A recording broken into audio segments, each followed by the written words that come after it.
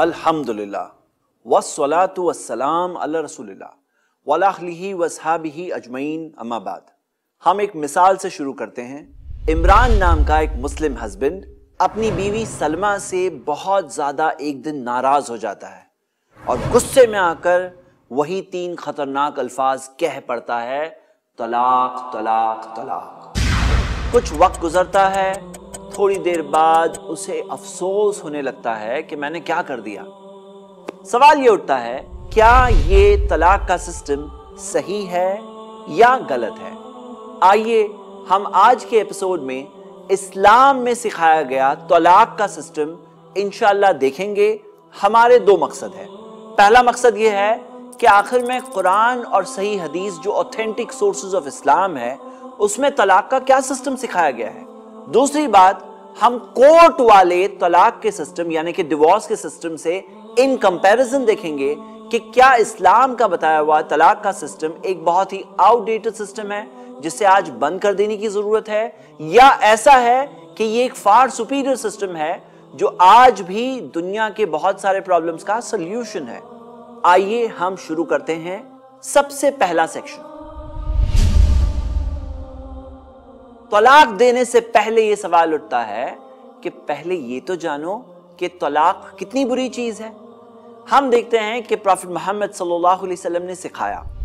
صحیح مسلم میں حدیث ہے کہ شیطان کو جب اس کے ٹیم ممبرز یعنی کہ شیاطین جو انسانوں کو غلط راستے کی طرف بلاتے ہیں اور اسے جب یہ رپورٹ ملتی ہے کہ کسی شیطان نے ہسبینڈ اور وائف کے بیچ میں جھگڑا لگایا، یہاں تک کہ دونوں الگ ہو گئے۔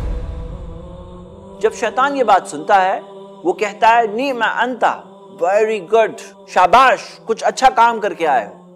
کیونکہ ہم یہ دیکھتے ہیں کہ جب ہسبینڈ اور وائف الگ ہوتے ہیں، تو بہت سارے سوشل پرابلمز کریٹ ہوتے ہیں۔ سب سے پہلے ہم یہ دیکھتے ہیں کہ بچوں کے ساتھ کتنے پرابلمز ہوتے ہیں۔ Children and divorce dot com website اور دوسری ویب سائٹس کی حوالے سے کچھ سٹیٹسٹکس ہیں۔ جو بچے ڈیورس والی فیملی میں بڑے ہوتے ہیں ان کے دونوں پیرنٹس موجود ہے ایک ہیلدی فیملی ہے۔ ویسے بچوں کے کمپیریزن میں یہ بچے سیون ٹائم زیادہ چانسز ہوتے ہیں کہ ڈپریشن میں پڑے آتے ہیں۔ ان کے ریزلٹ سکول میں بہت پور ہوتے ہیں۔ ہیلتھ پرابلمز ہونے کے ففٹی پرسینٹ زیادہ چانسز ہوتے ہیں۔ اور اگر جیلز میں دیکھا جائے تو سیونٹی پرسینٹ سے زیادہ کرمنلز ایسی ڈسٹرب فیملیز سے آتے ہیں۔ ان کے ہائر چانسز ہوتے ہیں کہ یہ ڈرگ ایڈک بن جائیں۔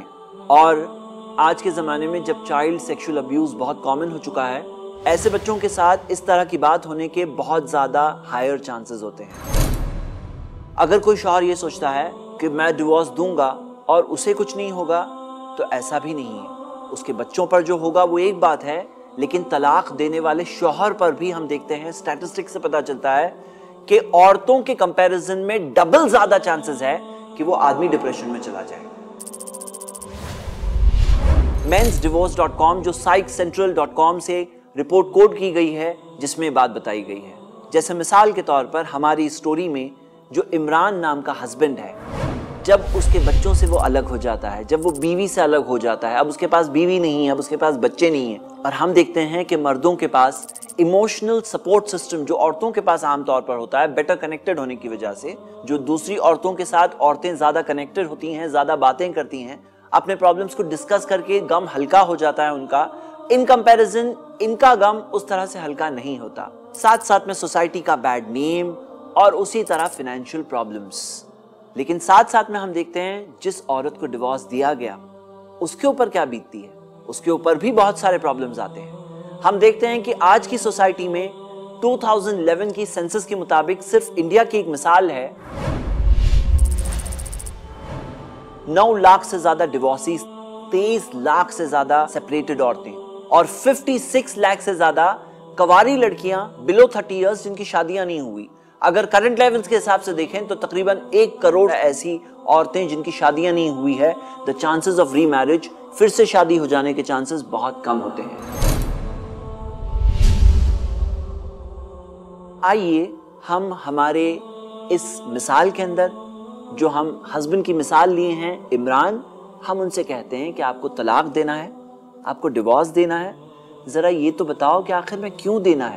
آپ کو اپنی بیوی میں کیا پرابلم ہے؟ ہم دیکھتے ہیں نارملی دو ٹائپ کے پرابلمز ہوتے ہیں۔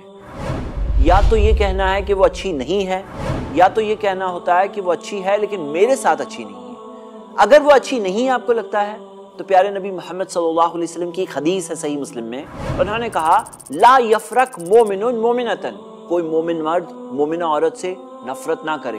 فَإِن كَرِهَا مِنْهَا خُلُقًا، رَضِيَ مِنْهَا آخر۔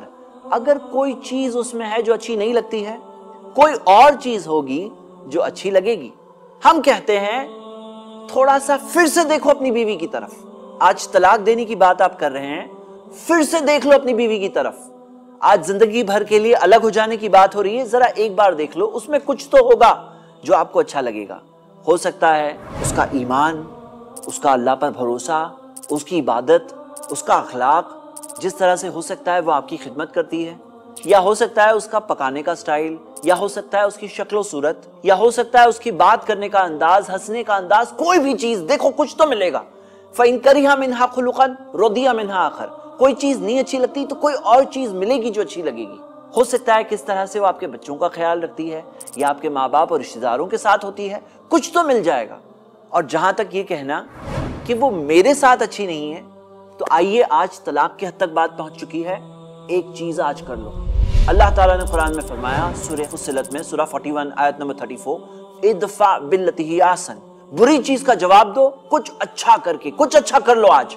ہو سکتا ہے کہ کوئی لونگ میسج ہو سکتا ہے فلاورز کا بکے یا ہو سکتا ہے آپ گھر آتے وقت کیک لے کر آؤ، یا ہو سکتا ہے اس کی کوئی چیز کی تعریف کرو، یا ہو سکتا ہے اس کی کوئی کمی کو معاف کر دو، درگزر کر دو، ہم معاف کرتے ہیں تو اللہ ہمارے گناہوں کو معاف کرے گا۔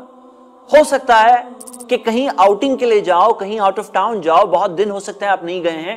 کچھ تو ایسا کرو کہ اس نے اگر آپ کے ساتھ برا کیا، آپ اللہ کے لیے اس کے ساتھ اچھا کرو۔ اللہ تعالیٰ نے وعدہ کیا، فَإِذَا الَّذِي بَيْنَكَ وَبَيْنَهُ عَدَاوَةٌ كَأَنَّهُ وَلِيٌ حَمِيمٌ۔ پھر وہ جس کے اور تمہارے بیچ میں دشمنی تھی، بن جائیں گے قریبی دوست۔ اللہ کا وعدہ ہے، اللہ کا وعدہ سچا ہے۔ تیسرا پوائنٹ اگر کچھ بھی نہیں سمجھ میں آ رہا ہے تو کم سے کم اتنا کرو جلد بازی مت کرو۔ تھوڑے دنوں کے لیے تو رک جاؤ۔ کچھ دنوں کے لیے معاملے کو چھوڑ دو، بعد میں دے دینا، کون سی زندگی جا رہی ہے؟ طلاق ہی دینا ہے، الگ ہی ہونا ہے، تھوڑے دن بعد ہو جاؤ، تھوڑے دن کے لیے چھوڑ دو۔ کیونکہ اللہ کے رسول محمد صلی اللہ علیہ وسلم نے فرمایا اتانی من اللہ والعجلت من الشیطان. صحیح الجامع میں حدیث ہے، اطمینان اللہ کی طرف سے ہے اور جلد بازی شیطان کی طرف سے ہے۔ آپ ویورز میں سے کسی کی زندگی ہو سکتا ہے آج مشکل حالات سے گزر رہی ہے، یا ہو سکتا ہے کسی کی میرڈ لائف سیپریشن کی طرف بڑھ رہی ہے۔ تو آئیے یہ چیزوں کو اپلائی کریں اپنی زندگی میں اور اللہ کی مدد مانگے لیکن کبھی کبھار پرابلمز اتنے سیویئر ہوتے ہیں، اتنی زیادہ ڈیفیکلٹیز ہوتی ہے کہ ہسبینڈ اور وائف کے لیے ان حالات میں الگ ہی ہو جانا بہتر دکھنے لگتا ہے۔ تو اگر کوئی آگے بڑھتا ہے ڈیورس کی سٹیج کی طرف، تو آئیے ہم دیکھتے ہیں ڈیورس سے پہلے کیا ہے۔ اللہ تعالیٰ نے قرآن میں طلاق سے پہلے کا ایک سٹیج بتایا اور ہم نے ایمان لایا ہے اللہ کی کتاب پر۔ ہمارا یہ ماننا ہے کہ اللہ جانتا ہے کہ ہمارے لیے کیا اچھا ہے اور کیا برا ہے۔ اور جو سسٹم بتایا گیا ہے وہ یقیناً کامیاب سسٹم ہے۔ قرآن میں سورہ نساء کی آیت ہے، سورہ چار، آیت نمبر پینتیس۔ وَإِن خِفْتُمْ شِقَاقَ بَيْنِهِمَا، اگر تمہیں ڈر ہے کہ دونوں میں علیحدگی آ جائے گی، اگر دونوں میں علیحدگی ڈیورس ہونے کے چانسز دکھ رہے ہیں۔ فَبْعَثُوا حَكَمًا مِنْ أَهْلِهِ وَحَكَمًا مِنْ أَهْلِهَا۔ تو ایک حکم جج کو بلاؤ، ایک ریپریزنٹیٹو کو بلاؤ ایک ہو جو شوہر کی طرف سے ہو، ایک ہو جو بیوی کی طرف سے ہو۔ ان یریدا اصلاحا یوفق اللہ بینہما۔ اگر دونوں صلح چاہتے ہیں، تو اللہ دونوں کو ملا دے گا۔ ان اللہ کان علیما خبیرا۔ کیونکہ یقیناً اللہ تعالیٰ علم والا، ہر چیز کی خبر رکھنے والا ہے۔ اس میں یہ سکھایا گیا ہے کہ اگر دونوں میں کچھ بھی انکلینیشن ہے، اگر شوہر اور بیوی میں ایسی کوئی چاہت ہے کہ دونوں مل جائے، تو اللہ انہیں ملا دے گا۔ لیکن طریقہ کیا ہے؟ طریقہ یہ ہے کہ کوئی ایک ایسا ریپریزنٹیٹو ہو جو لڑکے کے گھر کی طرف سے ہو اور ایک ہو جو لڑکی کے گھر کی طرف سے ہو۔ تو آپ کے گھر کے نہ کوئی بڑے ہیں، ان کو انوالو کرو۔ آپ کے گھر میں کوئی سمجھدار شخص ہے، کوئی حکمت والا شخص ہے، آپ کے رشتہ داروں میں کوئی ایسا ہے، آپ کے دوست و احباب میں کوئی ایسا شخص ہے، اسے ملائیے اور لڑکے اور لڑکی کی طرف سے دونوں ریپریزنٹیٹو ملیں گے اور مسئلے کو حل کرنے کی کوشش کریں گے۔ اللہ تعالیٰ نے وعدہ کیا ہے کہ دونوں اگر صلح چاہتے ہیں تو اللہ دونوں کو ملائے گا۔ اور ایک چیز ہے جو ہمیں سنت سے ملتی ہے۔ ہم دیکھتے ہیں کہ اللہ کے رسول محمد صلی اللہ علیہ وسلم نے ایک بار اپنی بیویوں سے علیحدگی اختیار کیا تھا مطلب سیپریشن اختیار کیا تھا ان کے کریکشن کے لیے۔ اور یہ بھی ایک طریقہ ہے، اگر آپ کو کچھ سمجھ میں نہیں آ رہا ہے تو تھوڑے دنوں کے لیے بیوی سے الگ ہو جاؤ۔ چند دنوں کے لیے، دس دن، پانچ دن، ہفتہ، پندرہ دن، ایک مہینہ، یاد رکھیے، چار مہینے سے زیادہ مت کراس کیجیے گا۔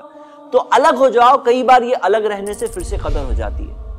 آپ تو زندگی بھر الگ رہنے کی بات سوچ رہے ہیں، تھوڑے دن تو الگ رہ لو۔ تھوڑے دن الگ رہ لو۔ ہو سکتا ہے تھوڑے دنوں میں کوئی سلیوشن نکل آئے۔ لیکن مان لیجیے کہ پرابلم سالو نہیں ہوا اور شوہر طلاق دینا چاہتا ہے۔ تو عام طور پہ ذرا یہ بتاؤ کہ اگر کوئی شخص طلاق دینا چاہتا ہے اسے رہنمائی چاہیے اور وہ اگر قرآن میں دیکھے گا تو کہاں دیکھے گا؟ قرآن میں ایک سورہ ہے جس کا نام ہے سورہ طلاق۔ سورہ صلاح نہیں ہے، لیکن سورہ طلاق ہے کیونکہ طلاق جیسے ٹینشن والی سچویشن کے اندر کوئی انسان اگر قرآن کھولتا ہے تو اسے ڈھونڈنے میں بھی شاید دقت نہیں ہوگی۔ اس کی پہلی آیت میں ہی جو گائیڈنس ہے، میرے بردرز اینڈ سسٹرز اکثر لوگ اسی گائیڈنس کو فالو نہیں کرتے ہیں۔ اکثر لوگ طلاق کے معاملے میں بہت ساری مسٹیکس کرتے ہیں، بہت ساری گڑبڑ کرتے ہیں، بہت سارے رولز کو توڑتے ہیں، یہاں تک آگے خود کو بھی تکلیف میں ڈال دیتے ہیں اور فیملی ممبرز کو بھی تکلیف میں ڈال دیتے ہیں۔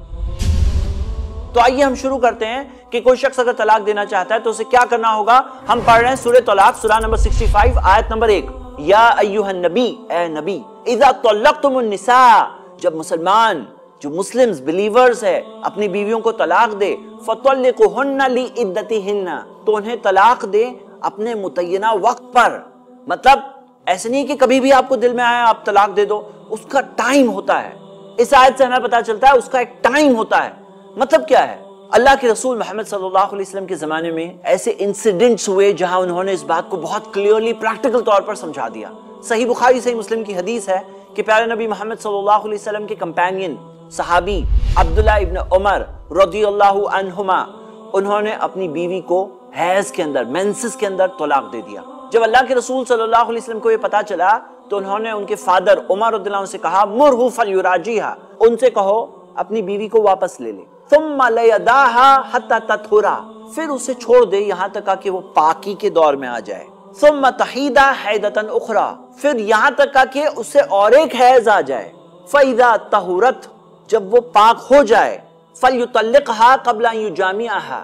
تو وہ اسے طلاق دے، اس سے پہلے کہ وہ اس کے ساتھ ریلیشنز قائم کریں۔ او يُمْسِقْهَا یا تو اسے رہنے دے۔ فَإِنَّهَا الْإِدَّةُ الَّتِي أَمَرَ اللَّهُ أَن يُطَّلَّقَ لَهَا النِّسَاء۔ یہی وہ عدت ہے، جس عدت میں اللہ تعالیٰ نے عورتوں کو طلاق دینے کہا۔ اس سے ہمیں بہت ساری چیزیں پتا چلتی ہیں۔ سب سے پہلی بات یہ پتا چلتی ہے کہ حیض کے اندر، مینسس کے اندر طلاق نہیں دے سکتے۔ ایک اور حدیث میں آتے ہیں کلیئر ورڈز لِيُطَلِّقَهَا طَاهِرًا أَوْ حَامِلًا۔ صحیح مسلم کی حدیث ہے کہ وہ اسے طلاق دے، پاکی کے دور میں پیورٹی کے دور میں یا حمل یعنی پریگننسی کے دور میں۔ یہ بات اس بات کی دلیل ہے کہ حیض میں طلاق نہیں ہوتی ہے اور پوسٹ ڈیلیوری بلیڈنگ یعنی کہ جسے نفاس کہتے ہیں، اس میں بھی طلاق نہیں ہوتی۔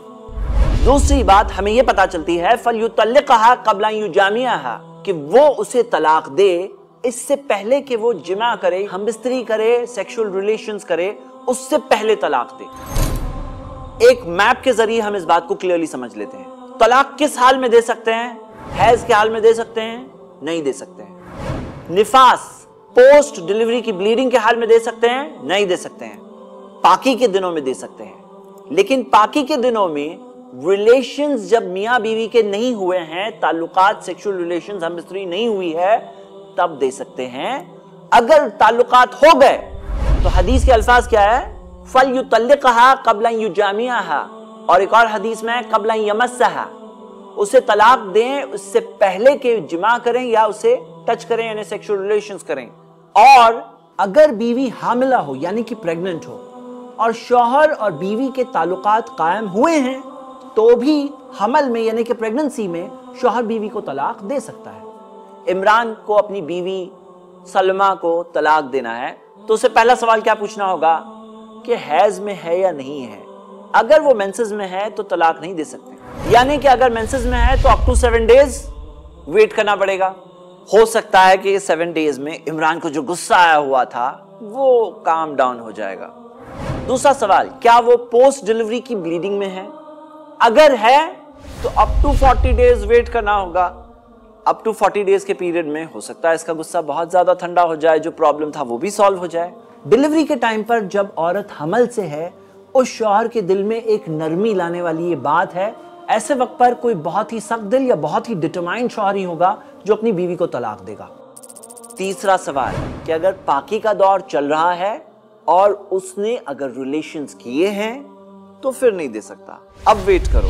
نیکسٹ ٹائم ہم اس میپ سے سمجھتے ہیں۔ عورتوں کا پیریڈ نارملی اٹھائیس دن کا ہوتا ہے۔ کچھ عورتوں کا اس سے زیادہ بھی ہوتا ہے۔ کچھ عورتوں کا اس سے کم بھی ہوتا ہے، لیکن نارملی اٹھائیس دن۔ ان میں پہلے سات دن حیض کے ہوتے ہیں یعنی کہ مینسس کے ہوتے ہیں۔ کبھی زیادہ بھی ہو سکتے ہیں، کبھی کم بھی ہو سکتے ہیں۔ اور ہمیں آج پتا چلتا ہے کلینکل سٹڈی سے بات ثابت ہے کہ عورتوں کا لاسٹ پیریڈ کا لاسٹ جو وقت ہوتا ہے یعنی کہ حیض آنے سے جس پہلے، اسے P M S pre menstrual syndrome کا پرابلم ہوتا ہے۔ Women's health dot G O V جو امریکن گورنمنٹ کے office on women's health U S department of health and human services کی ویب سائٹ ہے۔ اس ویب سائٹ پر بتایا گیا ہے کہ سیونٹی فائیو پرسینٹ عورتیں یعنی کہ تقریباً ہر سو میں سے پچہتر سیونٹی فائیو پرسینٹ عورتوں کو پیریڈ آنے سے پہلے کچھ فزیکل یا سائیکولوجیکل سمٹمز فیس کرنے پڑتے ہیں۔ اور P M S pre menstrual syndrome یعنی جب یہ سمٹمز زیادہ سیویئر ہونے لگتے ہیں، وہ تھرٹی ٹو ایٹی پرسینٹ عورتوں میں ہے American academy of family physicians کی ویب سائٹ سے ہمیں پتا چلتا ہے، وہ کہتے ہیں کہ پری مینسٹرل سمٹمز تقریباً ایٹی پرسینٹ عورتوں میں ہے لیکن جو زیادہ سیویئر ہے، وہ twenty to thirty two percent اور P M D D premenstrual dysphoric disorder تین سے آٹھ پرسینٹ عورتوں میں ہوتا ہے۔ دکھایا جاتا ہے کہ ایسے وقت پر سب سے زیادہ ہسبینڈ وائف کے ڈسپیوٹس ہوتے ہیں اور سب سے زیادہ ڈیوارس کے چانسز ہوتے ہیں۔ لیکن اسلامک سسٹم آف ڈیوارس میں اگر ہسبینڈ اور وائف پیریڈ میں پہلے اگر سیکشل ریلیشنز ہو چکے ہیں تو اس کے بعد ہسبینڈ ڈسکوالیفائی ہو چکا ہے، وہ طلاق نہیں دے سکتا ہے۔ یعنی کہ پی ایم ایس کے سارے ڈینجرس سمٹمز سے دونوں کے دونوں بچ جاتے ہیں۔ اور ان کی میرڈ لائف بچ جاتی ہے۔ ایک اور حکمت ہے۔ U S national library of medicine national institutes of health کی ویب سائٹ پر کئی ایسی سٹڈیز اویلیبل ہے اس میں سے ایک سٹڈی آپ کی سکرین پر ہے۔ The relationship between suicidal attempts and menstrual cycle in women us report میں بتایا گیا ہے کہ جب عورتیں مینسٹرل سائیکل میں ہوتی ہیں، تب سوئسائڈل اٹیمپٹ سب سے زیادہ ہوتے ہیں۔ ان کے سائیکولوجیکل ڈسٹربنسز بہت زیادہ ہوتے ہیں، یہاں تک کہ خودکشی کرنے کی بہت زیادہ کوششیں اسی وقت پر عورتیں کرتی ہیں۔ ایسے وقت پر اسلام نے طلاق دینا اس شوہر کو منع کر رکھا ہے۔ یعنی کہ عورتیں سیف ہے اس پیریڈ اس وقت پر بھی۔ اب ہم دیکھتے ہیں شوہر کے بارے میں۔ اللہ کے رسول محمد صلی اللہ علیہ وسلم کی حدیث ہے۔ لا طلاق ولا اطاق فی اغلاق۔ سنن ابو داؤد میں حسن سند سے کہ طلاق نہیں ہوتی، نہ غلام آزاد ہوتا ہے۔ فی اغلاق اغلاق کے حال میں، اغلاق کسے کہتے ہیں؟ یعنی کہ بند حال میں۔ بند کسے کہتے ہیں؟ کہ کسی بھی طرح سے اگر دماغ بند ہے شوہر کا، ایسی بند حال کئی وجہ سے ہو سکتا ہے۔ اس حال میں طلاق نہیں ہوتی۔ مثال کے طور پر، اگر کوئی بہت شدید، بہت سیویئر غصے میں ہے شوہر اور غصہ اس حال میں کہ وہ کیا بول رہا ہے اسے معلوم نہیں ہے۔ اسے اپنے اوپر کنٹرول نہیں ہے۔ اسے لوگ بعد میں بولتے ہیں، تم نے تو یہ بول دیا۔ اب اس حال میں طلاق نہیں ہوتی۔ کچھ لوگ کہتے ہیں کہ غصے میں طلاق نہیں ہوتا ہے، یہ بات بھی صحیح نہیں ہے۔ اب ظاہر سی بات ہے، طلاق کوئی دے گا تو غصے میں ہی دے گا۔ بہت خوشی سے تو نہیں دے گا۔ بیگم، میں آج بہت خوش ہوں تم سے، اس لیے طلاق۔ تو طلاق تو غصے میں آ کر ہی دے گا۔ لیکن غصے میں ایک ہوتا ہے بہت سیویئر غصہ، اتنا سیویئر غصہ کہ اس کا خود کے اوپر کنٹرول نہیں ہے۔ ویسے حال میں، اس حال میں طلاق نہیں ہوتی۔ تو یہ ہماری سسٹرز کے لیے ویمن کے لیے یہ ایک کمفرٹ والی بات ہے کہ اس حال میں طلاق نہیں ہوتی۔ اسی طرح کمپینین آف دا پروفٹ اور اسلام کے تھرڈ خلیفہ۔ عثمان رضی اللہ عنہ سے ہمیں سٹیٹمنٹ ملتا ہے۔ لیسا لی مجنون ولا لی سکران طلاق۔ مجنون، پاگل اور سکران نشے کے حال میں جو ہو، ان کا طلاق نہیں ہوتا ہے۔ تو ایسے ایشوز ہوئے ہیں، اسلام میں شراب تو حرام ہے، لیکن اگر کوئی نشے کے حال میں ہے، یہ سزا کی بات ہے، لیکن اس حالت میں طلاق نہیں ہو سکتی۔ یہ صحیح بخاری کتاب الطلاق میں ہے۔ ایک اور statement great scholar of Islam companion of the prophet صحابی رسول عبداللہ ابن عباس رضی اللہ عنہما کا ہے۔ انہوں نے فرمایا، طلاق السکرانی والمستقرہی لیسا بھی جائز جو نشے کے حال میں ہے یا مستقرہی جس پہ فورس کیا گیا ہے۔ دونوں کی طلاق جائز نہیں ہے پرمیسیبل نہیں ہے۔ مطلب جو شخص نشے کے حال میں اس کی بھی طلاق نہیں ہوتی۔ والمستقرہی جس پہ فورس کیا گیا ہے۔ جیسے مثال کے طور پر اگر کوئی گن رکھ دے عمران کے اوپر، کہے کہ طلاق دو اپنی بیوی کو۔ اور اگر وہ فورس میں آ کے طلاق دے بھی دے، تو طلاق نہیں ہوتی۔ ایک اور سچویشن ہے۔ سنن ابو داؤد میں صحیح سنت سے حدیث ہے۔ پیارے نبی محمد صلی اللہ علیہ وسلم نے فرمایا، القلم قد رفع عن ثلاث۔ تین لوگوں کی قلم اٹھی ہوئی ہے یعنی لکھ رہی نہیں ہے یعنی ان کے ڈیڈز اور ایکشنز ریکارڈ نہیں ہو رہے ہیں۔ وہ تین کون؟ ان المجنون حتی یبرا، پاگل، جب تک عقل نہ آ جائے۔ وعن النائم حتی یستیقظ، سویا ہوا، جب تک جاگ نہ جائے۔ وعن السبی حتی یاقل، بچہ، جب تک اس کی عقل نہ آ جائے۔ یعنی کہ کوئی شخص اگر پاگل ہو گیا اور پاگل پن میں اس نے بیوی کو بولا طلاق تو طلاق نہیں ہوتی۔ اسی طرح کوئی شخص اگر سویا ہوا ہے وانے نائمی حتی یستیقظ۔ سویا ہوا شخص جب تک جاگ نہ جائے، اس کی قلم اٹھی ہوئی یعنی اس کے ایکشنز اور ڈیڈز ریکارڈ نہیں ہو رہے ہیں۔ تو کوئی سویا ہوا ہے، نیند میں بول دے، بیوی کو طلاق دے رہا ہوں میں تمہیں۔ تو بیوی کے لیے گھبرانے کی کوئی بات نہیں، طلاق نہیں ہوتی۔ یہ حدیث ابو داؤد میں ہے، صحیح سنت سے۔ ہسبینڈ کا سٹیٹ دیکھنے کے بعد اب ہم آتے ہیں اس سٹیج میں جہاں وہ شوہر فائنلی جا کر طلاق کہنے والا ہے۔ لیکن رکیے قرآن کے اندر، سورہ طلاق کے اندر دوسری آیت ہے۔ سورہ 65 آیت نمبر دو۔ وَاشْهِدُوا زَوَيْ عَدْلِ مِنْكُمْ وَاقِمُ الشَّهَادَةَ لِلَّهِ۔ دو عدل والے شخصوں کو گواہ بنا لو آپس میں اور اللہ کے لیے گواہی قائم کرو۔ ذَلِكُمْ يُعَزُوا بِهِ۔ مَنْ كَانَ يُؤْمِنُ بِاللَّهِ وَالْيَوْمِ الْآخِرِ یہ وہ شخص کے لیے نصیحت کی جاتی ہے جو اللہ پر اور قیامت کے دن پر ایمان رکھتا ہے۔ یہاں تک کہ صحابی رسول عمران بن حسین رضی اللہ عنہ سے ایک شخص نے کہا کہ اس نے بغیر گواہ کی طلاق دیا اور بغیر گواہ کے رجوع بھی کیے۔ تو انہوں نے فرمایا، طلقت لغیر سنت وراجعت لغیر سنت تم نے طلاق دیا سنت کے خلاف اور رجوع کیا سنت کے خلاف۔ اشہد علی طلاقها ولا رجعتها ولا تعد۔ گواہ بناؤ، طلاق کے اوپر بھی، رجوع کے اوپر بھی اور ایسی غلطی پھر نہ کرو۔ تو یعنی کہ آپ کے پہچان کے دو لوگ ہیں، ان کو بلائیے۔ کبھی ایسا بھی ہوتا ہے کہ کوئی شخص نے دو آربیٹریٹرز جو دو حکم کو، دو ریپرزنٹیٹرز کو بلایا گیا تھا مسئلہ حل کرنے کے لیے، ان کو نہیں بلایا تھا، لیکن ابھی دو گواہوں کو بلاتے ہیں، تھوڑی بات ہوتی ہے، ہو سکتا ہے وہیں پہ حل ہو جائے۔ اور ذرا یہ بھی سوچئے، کل آپ کا اگر انتقال ہو گیا، تو دو گواہ تو ہوں گے جو کہیں گے ہاں انہوں نے طلاق دیا تھا۔ وراثت کے مسئلے ہوتے ہیں۔ مثال کے طور پر دو لوگ جا رہے ہیں کہیں پر اور دونوں شوہر بیوی نہیں ہے میاں بیوی نہیں ہے تو کیا ہوگا؟ تو ایک بہت سیریس بات ہو سکتی ہے۔ تو اسی وجہ سے دو گواہ کے ہونے سے بہت سارے پرابلمز بہت سارے آگے کے جھگڑے، ان سے ایک انسان بچتا ہے۔ کیا آپ یہ سوچ سکتے ہیں کہ کوئی شادی کرے، نکاح کرے بغیر گواہ کے؟ تو طلاق میں بغیر گواہ کے کیوں لوگ چلاتے ہیں؟ یہاں تک آگے کچھ سکولرز نے کہا ہے کہ گواہ ہونا طلاق کے شرائط کنڈیشنز میں سے ہے۔ تو اب ہماری مثال میں عمران جو اپنی بیوی سلمہ کو طلاق دینا چاہتا ہے، وہ چیک کر چکا ہے کہ بیوی حیض میں نہیں ہے۔ بیوی نفاس یعنی کہ پوسٹ ڈیلیوری بلیڈنگ میں نہیں ہے یا پاکی کے دور میں جس میں دونوں نے ریلیشنز قائم کیے ہیں، اس میں نہیں ہے۔ یعنی کہ ایسا پاکی کا دور ہے جس میں ریلیشنز دونوں کے نہیں ہوئے ہیں۔ اور حقیقت میں اگر آپ سٹڈی کریں تو یہ جو رسک کا فیکٹر وہ لوگوں کے لیے زیادہ ہے جو ہسبینڈ اور وائف دونوں ایک دوسرے سے اتنے دور ہو چکے ہیں کہ دونوں کے فزیکل کانٹیکٹس نہیں ہوتے ہیں، تو ان کی زندگی زیادہ ایٹ رسک ہوتی ہے آف ڈیورس تو فائنلی جا کر عمران کہتا ہے اپنی وائف سلمہ کو، میں تمہیں طلاق دیتا ہوں۔ صرف ایک بار کہے گا۔ میں تمہیں طلاق دیتا ہوں۔ صرف ایک بار کہے گا۔ اس کے تعلق سے بہت اہم بات آنے والی ہے۔ آگے آپ پیشنٹلی سنیے۔ اللہ تعالیٰ نے قرآن میں سورہ طلاق، سورہ نمبر پینسٹھ، آیت نمبر ایک میں فرمایا وَاتَّقُ اللَّهَ رَبَّكُمْ لَا تُخْرِجُوهُنَّ مِن بُيُوتِهِنَّ۔ اپنے رب سے ڈرو اور انہیں اپنے گھروں سے مت نکالو۔ من بُيُوتِهِنَّ، من بیوتی کا مطلب یہ ہے ان کے اپنے گھروں سے انہیں مت نکالو۔ مطلب یہ ابھی ان کا گھر ہے، انہیں اپنے گھروں سے مت نکالو۔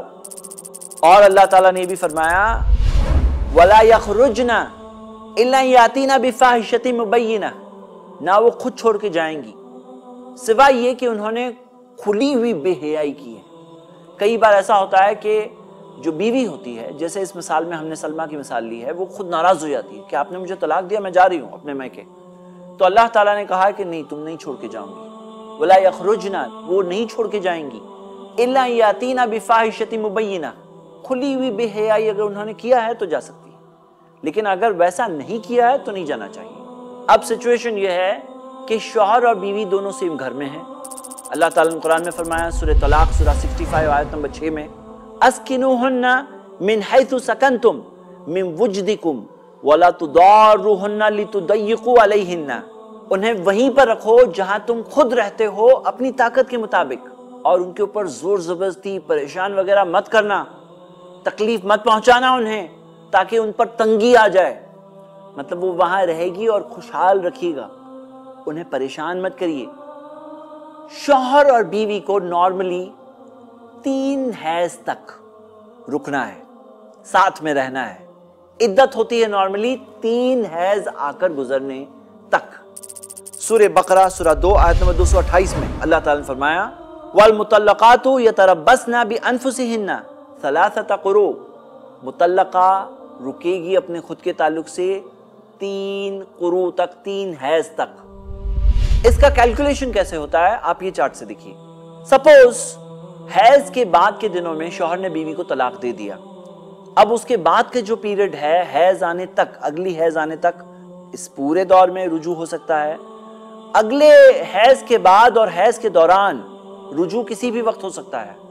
رجوع اورلی بھی ہوتا ہے، بول کر کے میں تمہیں واپس لیتا ہوں۔ فزیکل ایکشن سے بھی ہوتا ہے۔ اگر حیض کے علاوہ دن ہے اور میاں بیوی کے تعلقات ہو جائے تو وہ خود ایک رجوع ہے۔ مطلب کہ دونوں کا طلاق جو اس نے کہا تھا وہ مکمل نہیں ہوا۔ اس کی کیا رولنگ ہے ہم دیکھیں گے۔ اس کے علاوہ سیکنڈ حیض آتا ہے، گزرتا ہے۔ تیسرا حیض جب آ گیا، تو تیسرا حیض جب ختم ہوتا ہے، وہاں پر یہ تین حیض کی مدت جو ملی تھی شوہر کو، وہ ختم ہوتی ہے۔ یہاں تک کہ اسکالرز نے فتاوہ میں بتایا ہے اور صحابہ کے زمانے کی حدیثیں موجود ہے جب تک عورت غسل نہ لے لے، تب تک کہ بھی شوہر اسے واپس لے سکتا ہے۔ اس میں حکمت کیا ہے؟ پہلی حکمت تو یہ ہے کہ ایک صلح کا وقت مل جاتا ہے۔ دوسری حکمت یہ ہے کہ اگر بیوی حمل سے ہے یعنی کہ پریگننٹ ہے، تو پتہ چل جاتا ہے۔ تیسری حکمت یہ ہے کہ اس عورت کے لیے بھی کوئی سڈن چینج نہیں ہوتا ہے۔ اس کے لیے گریجول چینج ہوتا ہے، اسے ایک تھری منتھس کا پیریڈ مل جاتا ہے جس میں وہ ایڈجسٹ ہو رہی ہے اور اگر اس کا طلاق مکمل اور کمپلیٹ ہونے والا ہے تو اسے ایک گریجول پیریڈ ملتا ہے، وہ راتوں رات اپنے گھر سے باہر نہیں ہو جاتی۔ آئیے ہم دیکھتے ہیں کہ الگ الگ قسم کی عورتوں کے لیے عدت کیا ہوتی ہے۔ نارمل عورتوں کے لیے تین حیض گزرنے تک، جیسا کہ ہم نے اب دیکھا۔ سیکنڈ مان لیجیے کچھ عورتیں ہوتی ہیں جنہیں حیض نہیں آتا ہے۔ چاہے وہ بہت بزرگ ہونے کی وجہ سے اولڈ ایج میں پہنچنے کی وجہ سے مینوپاز کے بعد کے دور کی وجہ سے، یا کچھ کچھ لڑکیوں میں ایسا بھی ہوتا ہے کہ انہیں کچھ میڈیکل پرابلمز کی وجہ سے بھی حیض نہیں آتا ہے۔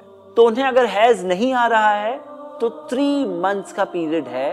ان کے لیے یعنی تھری منتھس تین مہینے ان کی عدت ہے۔ تیسرے پریگننٹ عورتوں کے لیے جب تک ڈیلیوری نہ ہو جائے۔ اب ڈیلیوری آپ کو پتا ہے کہ نو مہینے بھی لگ سکتے ہیں۔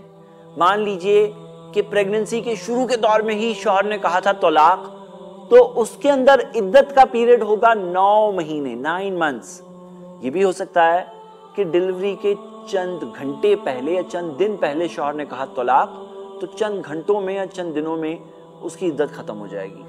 اور چوتھی وہ عورتیں جن کی بدائی رخصتی نہیں ہوئی شوہر نے صرف نکاح کیا تھا، نکاح کرنے کے بعد میں کسی پرابلمز کی وجہ سے اس نے کہا طلاق، تو ان لڑکیوں کی عدت ہوتی ہی نہیں ہے۔ قرآن سورہ احزاب، سورہ نمبر تینتیس، آیت نمبر فورٹی نائن آئیے ہم اب دیکھتے ہیں کہ رجوع کیسے ہوتا ہے۔ سب سے پہلے عام طور پر لوگوں کو یہ رجوع کا کنسپٹ ہی نہیں پتا ہوتا ہے۔ قرآن میں حالانکہ سورہ بقرہ میں، سورہ نمبر دو، آیت نمبر دو سو اٹھائیس میں اللہ تعالیٰ نے بہت کلیئرلی بتایا ہے وَبُعُولَتُهُنَّ أَحَقُّ بِرَدِّهِنَّ فی ذالکا ان ارادو اصلاح ان کے شوہروں کے پاس زیادہ حق ہے کہ وہ انہیں اپنی بیویوں کو واپس لے لے اگر وہ صلح چاہتے ہیں۔ اگر وہ صلح چاہتے ہیں، انہوں نے طلاق کہا تھا۔ وہ بھی کافی چیک کرنے کے بعد طلاق کہا تھا۔ لیکن اگر اس عدت کے دور میں شوہر چاہتا ہے کہ وہ بیوی کو واپس لے، تو اللہ تعالیٰ نے فرمایا حق بھی ردی ہننا ان کا زیادہ حق ہے کہ وہ اپنی بیویوں کو واپس لے۔ اللہ نے انہیں حق دیا ہے۔ لیکن آج بہت سے لوگ شوہروں کو یہ حق نہیں دے رہے ہیں۔ تو رجوع ورڈ سے بھی ہوتا ہے کہ شوہر کہے بیوی میں تمہیں واپس لے رہا ہوں۔ اور ایکشن سے بھی ہوتا ہے کہ شوہر بیوی کے ساتھ تعلقات کریں سیکشل ریلیشنز کریں۔ تو یہ رجوع ہو گیا۔ آپ سوچئے کہ شوہر اور بیوی سیم گھر میں ہے اور بیوی پر پابندی نہیں ہے کہ وہ خوبصورتی اختیار نہیں کر سکتی ہے۔ یا حجاب پہننا ہوگا، اسے برخہ پہننا ہوگا، اکیلے خلوت میں اس کے ساتھ نہیں رہ سکتی، ایسی کوئی پابندی نہیں ہے۔ جیسے نارمل وائف رہتی ہے، ویسے ہی وہ رہ رہی ہے اپنے شوہر کے ساتھ۔ کتنا آسان ہے کہ وہ اس طلاق کو رجوع کی طرف لے جائے۔ لیکن ایک بات یاد رکھیے، اگر شوہر نے رجوع کر بھی لیا، تو اس نے ایک بار طلاق کہہ دیا ہے۔ اور اگر رجوع نہ کرے اور عدت کا وقت گزر گیا تو وہ طلاق مکمل ہو گئی۔ قرآن میں ان طلاق کی آیتوں میں کم سے کم تین جگہ ایسی ملے گی جہاں آپ خود پڑھ سکتے ہیں۔ اللہ تعالیٰ نے فرمایا، فَإِذَا بَلَغْنَا أَجَلَهُنَّ فَأَمْسِكُهُنَّ بِمَعْرُوفِ أَوْ فَارِقُهُنَّ بِمَعْرُوفِ۔ جب وہ اپنی متعینہ وقت پر پہنچ جائے تو انہیں اچھی طریقے سے رکھ لو یا اچھی طریقے سے الگ کر دو۔ تو یہ دونوں اختیار ہے۔ اختیار ہے رکھنے کا بھی عدت کے وقت تک اور اختیار ہے کہ اس طلاق کو مکمل کر کے ختم کر دیا جائے۔ اسی طرح سورہ بقرہ سورہ دو آیت نمبر 231 میں پڑھیے۔ وَإِذَا طَلَّقْتُمُ النِّسَاءَ فَبَلَغْنَا أَجَلَهُنَّ۔ جب تم بیویوں کو طلاق دو اور وہ اپنے متعینہ وقت پر پہنچ جائے فَأَمْسِكُهُنَّ بِمَعْرُوفِ اور سَرِّقْهُنَّ بِمَعْرُوفِ۔ تو انہیں اچھی طریقے سے رکھ لو یا اچھی طریقے سے آزاد کر دو۔ سورہ بقرہ سورہ دو آیت نمبر 229 میں بھی یہی بات دی گئی ہے۔ لیکن رجوع جب ہو تو اچھی طریقے سے ہونا چاہیے۔ مطلب بالمعروف بالمعروف، بار بار آپ دیکھ رہے ہیں، اچھے طریقے سے رکھ لو، اچھے طریقے سے رکھ لو۔ اللہ تعالیٰ نے قرآن میں یہ بھی فرمایا، سورہ بقرہ کی آیت نمبر 231 ہے، وَلَا تُمْسِكُهُنَّ دِرَارًا لِتَعْتَدُوا۔ انہیں اس لیے مت رکھنا کہ انہیں تکلیف پہنچاؤ۔ وَمَنْ يَفَلْ ذَلِكَ، جو ایسا کرے گا، فَقَدْ ظَلَمَ نَفْسَا اس نے خود کے نفس کے اوپر ہی ظلم کیا۔ وَلَا تَتَّخِذُوا آیات اللَّهِ حُزُوَا۔ اللہ کی آیتوں کو مذاق کے طور پر مت لے لینا۔ طلاق کی آیتوں میں آپ ایک اور بات دیکھیں گے۔ سورہ بقرہ، سورہ دو، آیت نمبر 237 میں ہے۔ وَلَا تَنْسَوُ الْفَضْلَ بَيْنَكُمْ۔ آپس میں ایک دوسرے کے ساتھ فضل اور احسان کو بھول مت جانا۔ ان اللہ بما تعملون بصیر تم جو کچھ کر رہے ہو اللہ دیکھ رہا ہے۔ کئی بار لوگ جب طلاق تک پہنچتے ہیں سارے اپنے اخلاق کو بھول جاتے ہیں۔ جائز، ناجائز بھول جاتے ہیں۔ انہیں صرف اپنے پرسنل مقصد اور گریڈ سمجھ میں آتی ہے۔ اللہ تعالیٰ نے قرآن میں سورہ بقرہ میں جہاں پر طلاق کو ایکسپلین کیا ہے، اگر وہ آیتیں پڑھیں، آپ دیکھیں گے کہ اللہ تعالیٰ نے آٹھ جگہوں پر ذکر کیا کہ اللہ کی قائم کی ہوئی حدوں کو مت توڑنا۔ چھ جگہوں پر ذکر کیا، اللہ سے ڈرو۔ تین جگہوں پر اللہ نے ذکر کیا کہ جو اللہ پر ایمان رکھتا ہے قیامت کے دن پر ایمان رکھتا ہے، اس کے لیے یہ یہ بات ہے۔ اور ایک جگہ پر کہا اللہ تعالیٰ نے، اللہ کی آیتوں کو مذاق کے طور پر مت لینا۔ آئیے ہم دیکھتے ہیں کہ اگر طلاق پوری ہو جائے تو کیا کیا ڈفرنسز آ جاتے ہیں۔ سب سے پہلی چیز، جب وہ طلاق مکمل ہو گئی، تو دونوں کا ایک دوسرے کی وراثت میں حق ختم ہو جاتا ہے۔ یعنی شوہر کو بیوی کی وراثت میں کچھ نہیں ملے گا، بیوی کو شوہر کی وراثت میں کچھ نہیں ملے گا۔ اسی طرح جب طلاق کا وقت ختم ہو گیا تو رجوع نہیں کر سکتا ہے شوہر۔ اب وہ فریش نکاح کر سکتا ہے۔ ہم وہ دیکھیں گے۔ تیسری چیز، اب وہ غیر محرم بن گیا۔ اب اس عورت کو اپنے پچھلے شوہر کے سامنے حجاب کرنا ہے یعنی کہ اپنے پردے کا خیال رکھنا ہے۔ اس کے ساتھ پرائیویٹلی اکیلے خلوت میں نہیں رہ سکتی۔ طلاق جب مکمل ہو تو ایک بات کا خیال رکھنا چاہیے۔ کئی بار شوہر بیوی کے پاس سے اپنی مہر کی رقم حاصل کرنے کی کوشش کرتے ہیں یا مہر اگر ادا نہیں کیے ہیں تو اس کو سکپ کرنے کی کوشش کرتے ہیں، وہ مہر ادا ہونا چاہیے، وہ مہر اس کا ہے۔ کئی شوہر ہوتے ہیں جو بیوی کے پاس سے دیے ہوئے گفٹس ہدیے بھی واپس لینے کی کوشش کرتے ہیں۔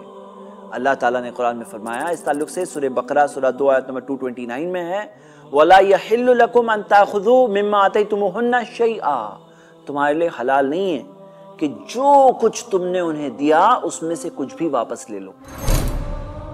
ایک اور غلطی کچھ لوگ کرتے ہیں کہ جب طلاق مکمل ہو گئی، عدت ختم ہو گئی، وہ بیوی نہیں رہی، اس کے بعد پھر سے ایک طلاق دیتے ہیں۔ ارے بھائی، وہ آپ کی بیوی نہیں ہے ابھی۔ اب آپ اور ایک طلاق نہیں دے سکتے۔ طلاق بیوی کو دے سکتے ہیں۔ جو بیوی ہی نہیں اسے طلاق کیسے دیں گے آپ؟ ہاں ایک چیز کر سکتے ہیں۔ کہ اگر آپ کو بعد میں جا کر سمجھ میں آئے کہ ہاں مجھے واپس چاہیے اپنی بیوی، میں اسے رجوع کرنا چاہتا ہوں تو رجوع تو نہیں کر سکتے ہیں۔ آپ نکاح کا پروپوزل بھیج سکتے ہیں۔ لیکن اسے پھر سے رضامندی دینی ہوگی۔ اس کے ولی گارڈین جو ہوتا ہے، جو عام طور پہ والد ہوتے ہیں یا والد نہیں ہے تو کلوزسٹ میل ریلیٹو جو ہوتا ہے، اس کی پھر سے اجازت لینی ہوگی۔ پھر سے مہر دینا ہوگا ایک نیا مہر۔ پھر سے ایک نیا نکاح ہوگا، پھر سے دو گواہ چاہیے۔ اللہ تعالیٰ نے قرآن میں فرمایا، سورہ بقرہ، سورہ دو، آیت نمبر 232 میں، وَلَا تَعْدُلُهُنَّ أَن يَنْكِحْنَ أَزْوَاجَهُنَّ إِذَا تَرَاضَوْا بَيْنَهُمْ بِالْمَعْرُوفِ۔ انہیں مت روکو اگر وہ اپنے پچھلے شوروں کے ساتھ پھر سے نکاح کرنا چاہتی ہیں، جب تک وہ آپس میں معروف طریقے سے رضامند ہیں۔ آئیے سمری میں یہ چارٹ سے دیکھ لیں۔ طلاق کے بعد رجوع کر کے کوئی اپنی بیوی کو واپس لے سکتا ہے، لیکن عدت کے اندر ہی۔ عدت کا وقت اگر گزر گیا، اس کے بعد میں فریش نکاح کر سکتے ہیں۔ آئیے آگے بڑھتے ہیں ہم دوسرے طلاق کی طرف۔ جب شوہر اور بیوی کسی بھی وجہ سے واپس آ چکے ہیں، چاہے وہ رجوع کی وجہ سے آئے ہوں یا ایک دوسرے نکاح کی وجہ سے آئے ہوں، لیکن یہ بات ہے ابھی بھی کہ اس شوہر نے اپنی بیوی کو ایک طلاق دیا تھا۔ وہ طلاق ریکارڈ میں آ چکا ہے۔ دونوں اپنی زندگی ساتھ بتانا شروع کرتے ہیں۔ ہو سکتا ہے کہ کچھ وقت کے بعد پھر سے کوئی ایسا معاملہ ہو کہ شوہر چاہتا ہے کہ میں پھر سے طلاق دے دوں۔ اب وہ ایک طلاق دے چکا تھا، اب وہ دے گا، وہ اس کی دوسری طلاق ہوگی۔ لیکن اس سے پہلے آئیے کچھ غلط فہمیاں دیکھیں۔ پہلی غلط فہمی یہ ہے کہ بہت سے لوگ سمجھتے ہیں کہ ایک طلاق کافی نہیں تھی۔ دوسری اور تیسری تین طلاق ہوگی تو جا کر طلاق برابر سے ہوئی۔ حالانکہ یہ بات ایسی نہیں ہے۔ ایک طلاق مکمل طلاق ہے۔ دونوں مکمل طور پر الگ ہو چکے ہیں۔ اب دونوں کے دونوں اپنی زندگی فریلی بتا سکتے ہیں۔ وہ عورت جا کے کسی سے بھی شادی نکاح کر سکتی ہے۔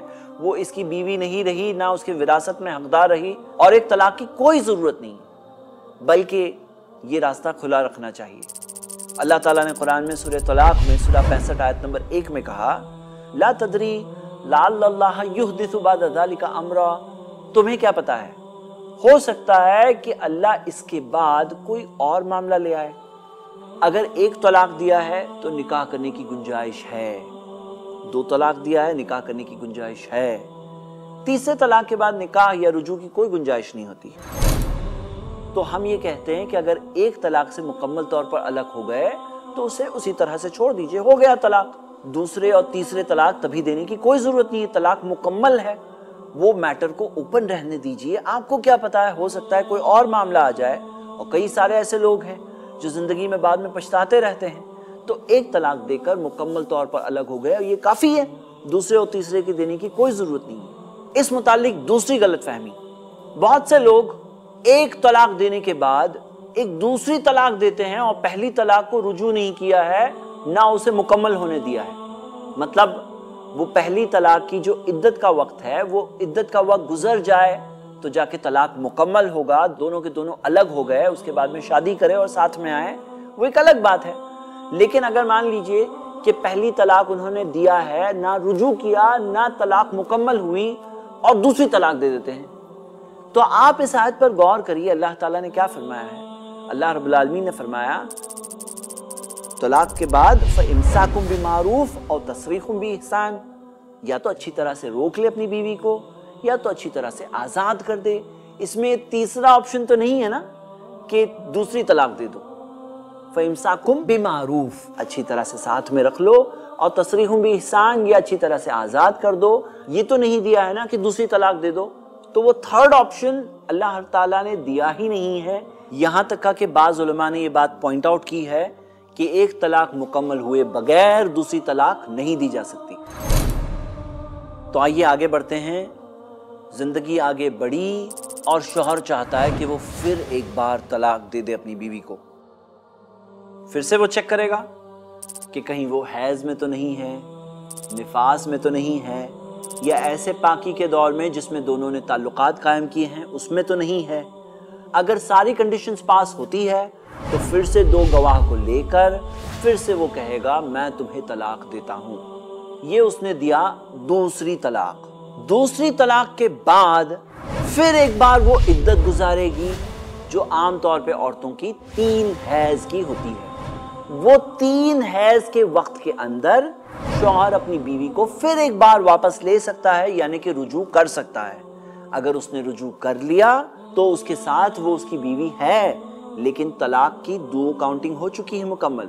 اگر اس نے رجوع نہیں کیا تو اس کے بعد عدت جب مکمل ختم ہوتی ہے، عدت ختم ہونے کے بعد دوسری طلاق مکمل ہو جائے گی اور دونوں الگ ہو جائیں گے۔ کچھ وقت کے بعد پھر اگر شوہر چاہتا ہے کہ وہ بیوی کو واپس لے تو واپس تو نہیں لے سکتا، وہ پھر سے ایک نکاح کا پروپوزل بھیج سکتا ہے کہ میں نکاح کرنا چاہتا ہوں۔ پھر سے اگر وہ لڑکی کی رضامندی ہوئی اور اس کے ولی نے اجازت دی، دو گواہوں کے ساتھ، نئے مہر کے ساتھ، نئے نکاح کے ساتھ پھر وہ اس کی بیوی بن سکتی ہے۔ بن تو جائے گی، لیکن دو طلاق ہو چکے ہیں۔ اب ہم آتے ہیں خطرناک سٹیج پر اور وہ ہے تیسرا طلاق۔ کسی بھی طرح سے وہ بیوی اپنے شوہر کے پاس واپس آ چکی ہے۔ چاہے اس نے عدت ختم ہونے سے پہلے رجوع کیا ہو یا عدت ختم ہونے کے بعد نکاح کیا ہو۔ وہ واپس تو آ چکی ہے لیکن اس کے شوہر نے اسے دو طلاق دیا تھا۔ یہ ریکارڈ میں آ چکا ہے۔ زندگی آگے بڑھتی ہے۔ کسی بھی وجہ سے زندگی میں آگے جا کر اگر اس شوہر کے دل میں آتا ہے کہ میں پھر سے طلاق دوں، تو پھر سے اسے چیک کرنا ہوگا۔ بیوی حیض میں تو نہیں ہے، نفاس پوسٹ ڈیلیوری کی بلیڈنگ میں تو نہیں ہے۔ اگر پاکی کا دور ہے اور دونوں نے رشتہ ریلیشنز قائم نہیں کیا ہے، تو وہ طلاق پرناؤنس کر سکتا ہے جب وہ صحیح عقل کے سٹیٹ میں ہو۔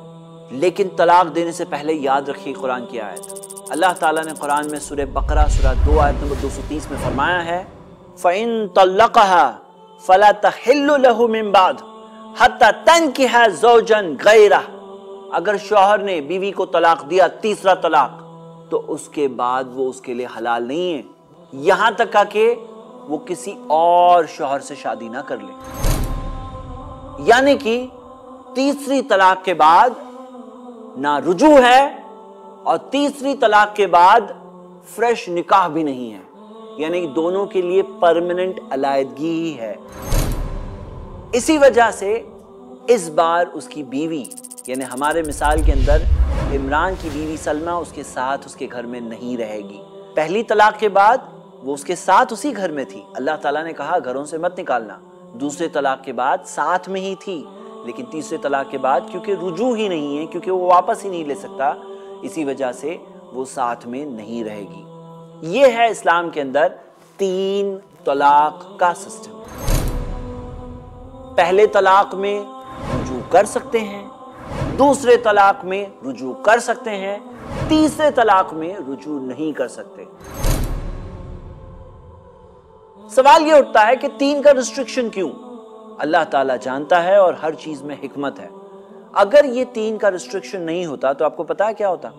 ہر دن ایک شوہر اپنی بیوی کو فریش طلاق دیتا۔ ہر دن بہت سارے شوہر ایسے ہوتے جو اپنی بیوی کو نیا طلاق دیتے اور شام تک ہو سکتا ہے رجوع بھی کر لیتے یا اگلے دن رجوع کر لیتے۔ پھر سے طلاق، پھر سے رجوع، پھر سے طلاق، پھر سے رجوع۔ سو بار طلاق ہوا، سو بار رجوع کیا کیونکہ طلاق سے تکلیف ہوتی ہے عورتوں کو کہ اسے طلاق دیا گیا۔ اسے اس چیز سے صرف تین بار گزرنا ہوگا، بس، اس سے زیادہ نہیں۔ اور شوہر کے لیے تین بار بہت موقع ہے۔ اگر تین بار میں اسے اپنی بیوی کی قدر نہیں ہے، تو وہ شخص اس لائق ہی نہیں ہے کہ وہ اس بیوی کے ساتھ رہے۔ اللہ تعالیٰ نے عورتوں کو پروٹیکٹ کیا، عورتوں کی حفاظت کی، اور یہ کوئی گڈا گڈی کا کھیل نہیں ہے۔ کہ بار بار شادی کرو، بار بار طلاق کرو، تین کی لمٹ بھی نہیں، کتنے دس، پندرہ، بیس، سو، پچاس، کتنے بھی طلاق ہوتے رہیں۔ اس چیز کے اندر کوئی وزڈم نہیں۔ وزڈم اور سمجھداری اس چیز میں بہت ہے کہ تین موقع اسے دیے گئے اور تین موقع اتنے بیوٹیفل سسٹم کے ساتھ، ایک بہترین سسٹم کے ساتھ۔ یہ تھا طلاق میں تیسرے طلاق کا سسٹم تو ہم نے فرسٹ سیکنڈ اور تھرڈ طلاق اور کس طرح سے یہ طلاق دیا جا سکتا ہے، اس کا پورا پروسیجر دیکھ لیا۔ انشاءاللہ ہم دیکھنے والے ہیں کہ طلاق کا Islamic system court base system کے سامنے جب فیس ٹو فیس آتا ہے، تو کیا ریزلٹس ہمیں ملتے ہیں؟ کیا نتائج ملتے ہیں؟ What is the real answer آئیے ہم شروع کرتے ہیں۔ سب سے پہلا سوال۔ ہم نے اسلامک سسٹم آف ڈیوارس طلاق کا سسٹم دیکھ لیا۔ لیکن اگر کوئی شخص ایک مجلس میں، ایک سٹنگ میں ایک ساتھ یہ نہیں دیکھتا کہ بیوی حیض میں ہے یا نہیں ہے، یہ نہیں دیکھتا نفاس میں ہے یا نہیں ہے، یہ نہیں دیکھتا کہ ایسا دور چل رہا ہے جس میں پاکی کا دور ہے اور جس میں انہوں نے تعلقات قائم کیے ہیں، نہیں قائم کیے ہیں، یہ نہیں دیکھتا۔ ڈائریکٹلی اپنی بیوی کو کہہ دیتا ہے، طلاق طلاق طلاق۔ سوال یہ ہے، اگر ایسا ہو تو کیا ہے؟ اس ٹاپک پر ہم دیکھتے ہیں کہ اسکالرز میں اختلاف ہے۔ کئی علماء ہیں اسکالرز ہیں جو یہ کہتے ہیں کہ اگر ایک سٹنگ میں اگر ایک شخص اپنی بیوی سے ایک بار میں طلاق طلاق طلاق تین بار کہہ دے تو یہ تین طلاق ہو گئی۔ دوسرے گروپ کا کہنا ہے کہ اگر تین بار اگر ایک سٹنگ میں کہتا ہے تو میکزیمم ایک ہوگی۔ اس بارے میں صحیح بات کیا ہے؟ اور ہم اس بارے میں ڈیٹیلز میں نہیں جائیں گے۔ ہم انشاءاللہ ایک بہت ہی آسان طریقے سے اس مشکل اختلافی مسئلے کو سالو کریں گے۔ ہم یہ دیکھتے ہیں کہ طلاق کے ایشو کو لے کر اور تین طلاق کے ٹاپک کو لے کر اسلام کے تعلق سے بہت ساری غلط باتیں میڈیا چینلز میں کہی گئی ہے ٹرپل آربیٹری طلاق، جس کے اندر ون ٹو تھری طلاق طلاق طلاق one two three and I'm free جو یہ اپروچ ہے، وہ اپروچ کے تعلق سے ہم دیکھتے ہیں کہ میڈیا میں بہت زیادہ اسلام کو، مسلمانوں کو برا کہا گیا ہے۔ بات یہاں تک پہنچی ہے کہ مسلم پرسنل لا تک دعوے پر لگ گیا ہے، خود کوشچنبل بن گیا ہے، خود تھریٹن ہو چکا ہے، خود مشکلوں میں آ چکا ہے، صرف اس طلاق کے میجر مسئلے کی وجہ سے۔ میں آپ سب سے یہ ریکویسٹ کرتا ہوں کہ ہم نے طلاق کا طریقہ قرآن اور حدیث سے تو بہت دلائل کے ساتھ ڈیٹیلز کے ساتھ دیکھ لیا۔ اب یہاں یہ دیکھنا ہے کہ کوئی ایک شخص ہے جو اپنی بیوی سے کہتا ہے طلاق طلاق طلاق، تو کیا ہوگا؟ کیا وہ تین طلاق ہوئے یا نہیں ہوئے؟ یہ مسئلے میں ہم دیکھتے ہیں کہ ہمیں اپنا آسان جواب اس بات میں مل جاتا ہے کہ جو علماء کہتے ہیں کہ تین طلاق ایک مجلس میں اگر کوئی دے دے تو ہو جاتی ہے، وہ علماء بھی کہتے ہیں کہ اس قسم کی طلاق دینا غلط ہے۔ یہ طلاق بدئی ہے، وہ کہتے ہیں یہ سنی طلاق نہیں ہے۔ یعنی کہ قرآن اور سنت کے مطابق یہ طلاق نہیں ہے، یہ ایک بدئی طلاق ہے۔ یہاں تک کہتے ہیں کہ ایسی قسم کی طلاق دینا سزا کے مستحق ہے، یہ ایک گناہ کا کام ہے۔ تو ہم کہتے ہیں کہ یہیں پہ بات ختم کر دیتے ہیں۔ یہیں پہ ٹاپک ختم کر دیتے ہیں یہ۔ تو کتنا اچھا ہوگا۔ اگر ہم سب مسلمان اس بارے میں اتفاق پر آ جائے کہ یہ قسم کی طلاق ہمیں نہیں دینا ہے، تو ہمارے سارے مسائل حل ہو جائیں گے انشاءاللہ۔ قرآن اور سنت میں ہمیں یہ سکھایا گیا ہے۔ قرآن کی آیت ہے سورہ نساء کی، سورہ نمبر 4 آیت نمبر 59 فَإِن تَنَازَاتُمْ فِي شَيْءٍ، اگر آپس میں تنازع آ جائے، اختلاف آ جائے، فَرُدُّهُ إِلَى اللَّهِ وَرَسُولِ۔ اس معاملے کو لوٹاؤ اللہ کی طرف اور رسول کی طرف یعنی کہ قرآن کی طرف اور نبی صلی اللہ علیہ وسلم کی حدیثوں کی طرف۔ ان کنتم تؤمنون باللہ والیوم الاخر۔ اگر اللہ پر ایمان ہے تو اور قیامت کے دن پر ایمان ہے تو ذالک خیر واحسن تاویلا اس میں خیر ہے، اس کا بہتر انجام ہے۔ الحمدللہ، ہم دیکھ رہے ہیں کہ مسلمانوں نے عام طور پر آج تین طلاق ایک ساتھ میں جو دی جاتی ہے، اسے غلط کہا ہے۔ All India Muslim personal law board نے جو سپریم کورٹ کا ججمنٹ آیا، اس سے پہلے ہی اپنے بیانات جاری کر دیے تھے کہ جو لوگ تین طلاق ایک ساتھ میں دیتے ہیں، ایسے لوگوں کا بوائکاٹ ہونا چاہیے۔ کئی سارے پریس ریلیزز علماء، مدارس، الگ الگ مکتبہ فکر کے لوگوں نے دیا کہ تین طلاق ایک مجلس میں دینا غلط ہے۔ بائیس جولائی دو ہزار سترہ تھری اس ٹو ٹو کے ووٹ سے سپریم کورٹ آف انڈیا نے یہ ڈکلیئر کیا کہ تین طلاق ان کانسٹیٹیوشنل ہے یعنی کانسٹیٹیوشن کے خلاف ہے۔ یہ ججمنٹ کو میڈیا نے بہت زیادہ ہائپ کیا۔ حالانکہ اگر دیکھا جائے تو دو ہزار دو کا ایک پرانا ججمنٹ پہلے سے موجود تھا Shamim Ara versus the state of U P case کے اندر۔ اس میٹر میں بھی سپریم کورٹ نے دو ہزار دو میں تین طلاق جو آربیٹری دی جائے، اسے انویلیڈیٹ کیا تھا۔ ہم دیکھتے ہیں کہ الگ الگ مسلم باڈیز مدارس، الگ الگ جگہ سے یہ چاہتے ہیں کہ طلاق کا صحیح سسٹم لوگوں کو سکھایا جائے اور ہم نے جو دیکھا، الحمدللہ۔ یہ اختلاف کے تعلق سے آخر میں حقیقی بات کیا ہے؟ صحیح مسلم میں حدیث ہے، عبداللہ ابن عباس رضی اللہ عنہما بیان کرتے ہیں۔ کانت طلاق علی عہدی رسول اللہ صلی اللہ علیہ وسلم۔ طلاق اللہ کے رسول صلی اللہ علیہ وسلم کی زمانے میں۔ وہ ابی بکرین و سنتین من خلافت عمر۔ ابو بکر رضی عنہ کے زمانے میں اور عمر رضی عنہ کی خلافت کے دو سالوں میں طلاق السلاسی واحدہ۔ تین طلاق ایک ہوا کرتے تھے۔ فقال عمر عمر رضی عنہ نے کہا، ان الناس قد استعجلوا فی امر قد کانت لہم فی انات۔ لوگ اس معاملے میں جلدی کر رہے ہیں جس معاملے میں انہیں گنجائش دی گئی تھی۔ فلو امدیناہ علیہم ہم یہ اگر ان پر شمار کر لیں یعنی ان پر یہ لازم کر دیں فامداہ علیہم اور پھر انہوں نے ان پر یہ نافذ کر دیا۔ کیا نافذ کیا؟ کیا تھا یہ معاملہ؟ ہم دیکھتے ہیں کہ اللہ کے رسول محمد صلی اللہ علیہ وسلم کے زمانے میں جیسے کہ اس حدیث میں آ رہا ہے، اگر کوئی ایک بار میں بیٹھ کر طلاق طلاق طلاق کہہ دیتا تو یہ تین نہیں، یہ ایک گنے جاتے تھے۔ ابو بکر رضی اللہ عنہ کے زمانے میں بھی یہ تین طلاق ایک گنی جاتی تھی۔ عمر رضی اللہ عنہ کی خلافت کے بھی دو سالوں تک اس قسم کی تین طلاق ایک گنی جاتی تھی، لیکن عمر رضی اللہ عنہ نے نوٹس کیا کہ لوگ اس معاملے میں بہت جلدی کر رہے ہیں۔ جیسے کہ ہمیں دوسری روایتوں سے پتا چلتا ہے کہ ایسے ایسے کیسز ان کے سامنے آئے۔ مثال کے طور پر ایک شخص نے اپنی بیوی سے کہا تھا کہ جتنے ستارے ہیں، میں اتنی طلاق تمہیں دیتا ہوں۔ کیونکہ وہ ایک ہی گنی جاتی تھی، تو اس طرح سے لوگ بڑا چڑھا کر وہ بات کہتے تھے، جو کسی عورت کو ظاہر سی بات ہے برا لگے گا۔ تو عمر عبداللہ نے کہا کہ اگر اب کوئی تین کہے گا، میں اس پر تین گنوں گا۔ اگر ایک بار میں بیٹھ کر تم طلاق طلاق طلاق کہوں گے، اب یہ ایک کاؤنٹ نہیں ہونے والا ہے، اب تین کاؤنٹ ہوگا۔ عمر عبداللہ نے یہ ان پر نافذ کیا۔ ہم دیکھتے ہیں ابو داؤد اور مسند احمد میں صحیح سنت سے ایک حدیث موجود ہے کہ رکانہ رضی اللہ عنہ نے اللہ کے رسول محمد صلی اللہ علیہ وسلم کے زمانے میں ایک مجلس میں تین طلاق دی اور پھر اللہ کے رسول صلی اللہ علیہ وسلم کے پاس گئے۔ کہا فقال انی طلقتها ثلاثا یا رسول اللہ اللہ کے رسول صلی اللہ علیہ وسلم، میں نے اپنی بیوی کو ایک مجلس میں تین طلاق دے دیا ہے۔ تو نبی صلی اللہ علیہ وسلم نے کہا قال قد علمت ہاں میں جانتا ہوں، راجیہا، اسے واپس لے لو۔ اگر تین طلاق ایک ساتھ میں تین گنی جاتی، تو رجوع کرنا، واپس لینے کا تو سوال ہی نہیں ہوتا ہے۔ اس بارے میں ہم دیکھتے ہیں کہ علماء دو طرف بٹے ہوئے ہیں۔ بعض علماء کا کہنا ہے کہ عمر رضی اللہ عنہ، کیونکہ خلفۂ راشدین میں سے ہے اور انہوں نے جب یہ چیز لائی تو یہ سارے لوگوں پر، سارے زمانوں پر یہ چیز لازم ہو جاتی ہے۔ دوسری طرف وہ علماء ہیں جو کہتے ہیں کہ عمر رضی اللہ عنہ نے یہ اس زمانے کے اندر ایک تعزیلی سزا ڈسکریشنری سزا۔ اسلام نے اجازت دی ہے کہ خلیفہ اپنے زمانے کے اندر کوئی پرابلم اگر نوٹس کرتا ہے تو وہ پرابلم کو سالو کرنے کے لیے ایک ٹائم بینگ ایک سزا لا سکتا ہے۔ وقتی طور پر تو وہ کہتے ہیں کہ ایک وقتی طور پر ٹیمپرری طور پر لائی ہوئی سزا تھی جو انہوں نے لایا۔ یہ ہمیشہ کے لیے انہوں نے شریعت تبدیل نہیں کی۔ پہلے موقف والے علماء کا یہ بھی کہنا ہے کہ یہ پورا کی پورا تھاٹ کہ تین طلاق ایک مجلس میں ایک ہوتی ہے، یہ چیز کی شروعات ساتویں صدی ہجری میں ابن تیمیہ اور ان کے سٹوڈنٹس نے کیا۔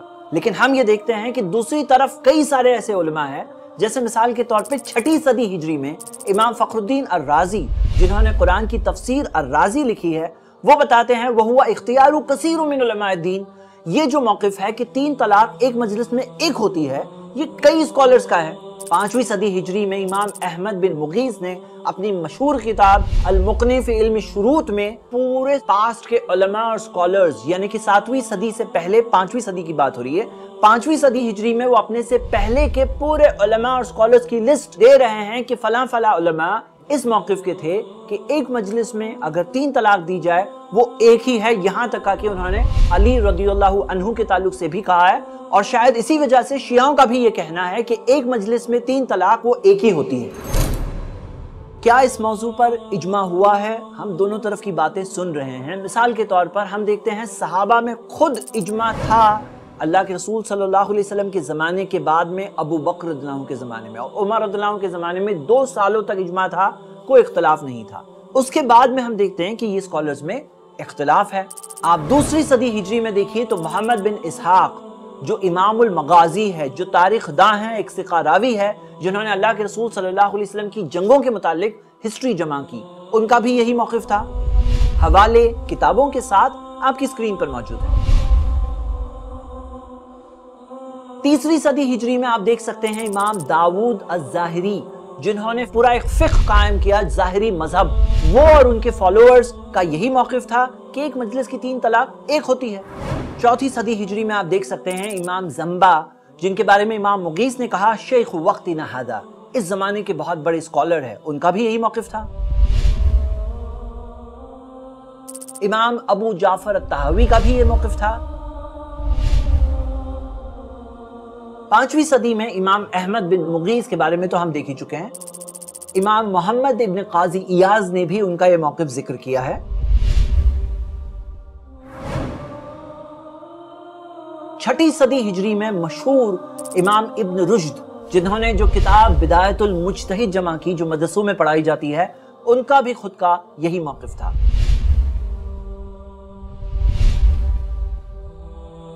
اور امام فخر الدین الرازی کا بھی یہی موقف تھا جو ہم دیکھ چکے ہیں۔ ساتویں صدی ہجری میں امام محمد بن قاسم، جن کے بارے میں امام الزہبی نے کہا ہے تذکرت الحفاظ میں کہ اپنے زمانے کے امام اور مورخ تھے، ان کا بھی یہی موقف تھا۔ لیکن ایک عام آدمی کہتا ہے کہ میں کیا کروں؟ دونوں طرف علماء ہے میں کیا کروں؟ ہم کہتے ہیں کہ ایک عام آدمی کو اور سارے مسلمانوں کو یہی کرنا چاہیے کہ قرآن اور سنت کے بتائے ہوئے طریقے کے مطابق طلاق دینا چاہیے۔ اس میں حکمت ہے، اس میں ہمارے لیے خیر ہے، بہت ساری بلائیاں ہیں۔ اور یہ دونوں کے دونوں موقف اس بات میں تو جمع ہے کہ صحیح طریقے سے طلاق دو، کوئی غلط طریقے سے طلاق دے ہی نہ۔ کیونکہ اگر دے گا، پھر یہ سوال ہوا کہ ہوئی یا نہیں ہوئی۔ اگر کوئی نہیں دے گا اور عمر رضی اللہ عنہ نے جب وہ سزا لائی تھی، تو ان کی اس سزا لانے میں مقصد یہی تھا کہ لوگ اس طرح کا کام نہ کریں۔ تو وہ مقصد ہم حاصل کر سکتے ہیں اگر ہم سب قرآن اور سنت کے بتائے ہوئے طریقے کے مطابق طلاق دے اور اس چیز کو معاشرے میں بہت عام کر دیں، علم کو عام کر دیں۔ اگر کوئی شوہر سوچتا ہے کہ اپنی بیوی کو طلاق دینا ہے، قرآن کے اندر سورہ طلاق میں، سورہ بقرہ میں، نبی صلی اللہ علیہ وسلم کی سنتوں میں جو طریقہ بتایا گیا ہے، اس طریقے کے مطابق وہ دے۔ اب ہم آتے ہیں ایک بہت اہم سوال پر۔ اگر کسی نے اپنی بیوی کو تیسرا طلاق دے دیا، تو اس کے بعد اس کی بیوی اس کے لیے حلال نہیں ہے۔ اب وہ رجوع نہیں کر سکتا۔ اب وہ جا کر پھر سے نکاح یا شادی نہیں کر سکتا۔ تو لوگوں نے ایک سسٹم بنایا ہے، ایک بات معاشرے میں نکل چکی ہے۔ اور اس بات کو یہاں تک کہ ٹی وی کے نیوز چینلز نے بھی کیچ کر کے عام میڈیا میں، عام طور پر دنیا کے لوگوں میں یہ بات مشہور بھی کر دی کہ مسلمانوں میں یہ چیز چلتی ہے جسے لوگ کہتے ہیں حلال صحیح بات کیا ہے؟ ہم دیکھتے ہیں اسلام نے یہ سکھایا کہ اگر ایک شخص یا ہماری مثال کے اندر عمران نے اگر سلمہ کو تین بار طلاق کہہ دیا، اب اس کے پاس رجوع کا حق نہیں ہے۔ اب سلمہ کیا کرے گی؟ وہ کسی اور سے شادی کرے گی۔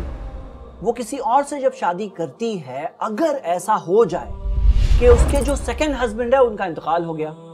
یا مان لیجیے، اس سیکنڈ شوہر نے بھی ایک دن جا کر اسے طلاق دے دیا اور طلاق کا وہی طریقہ ہے جو ہم نے ابھی تک دیکھا۔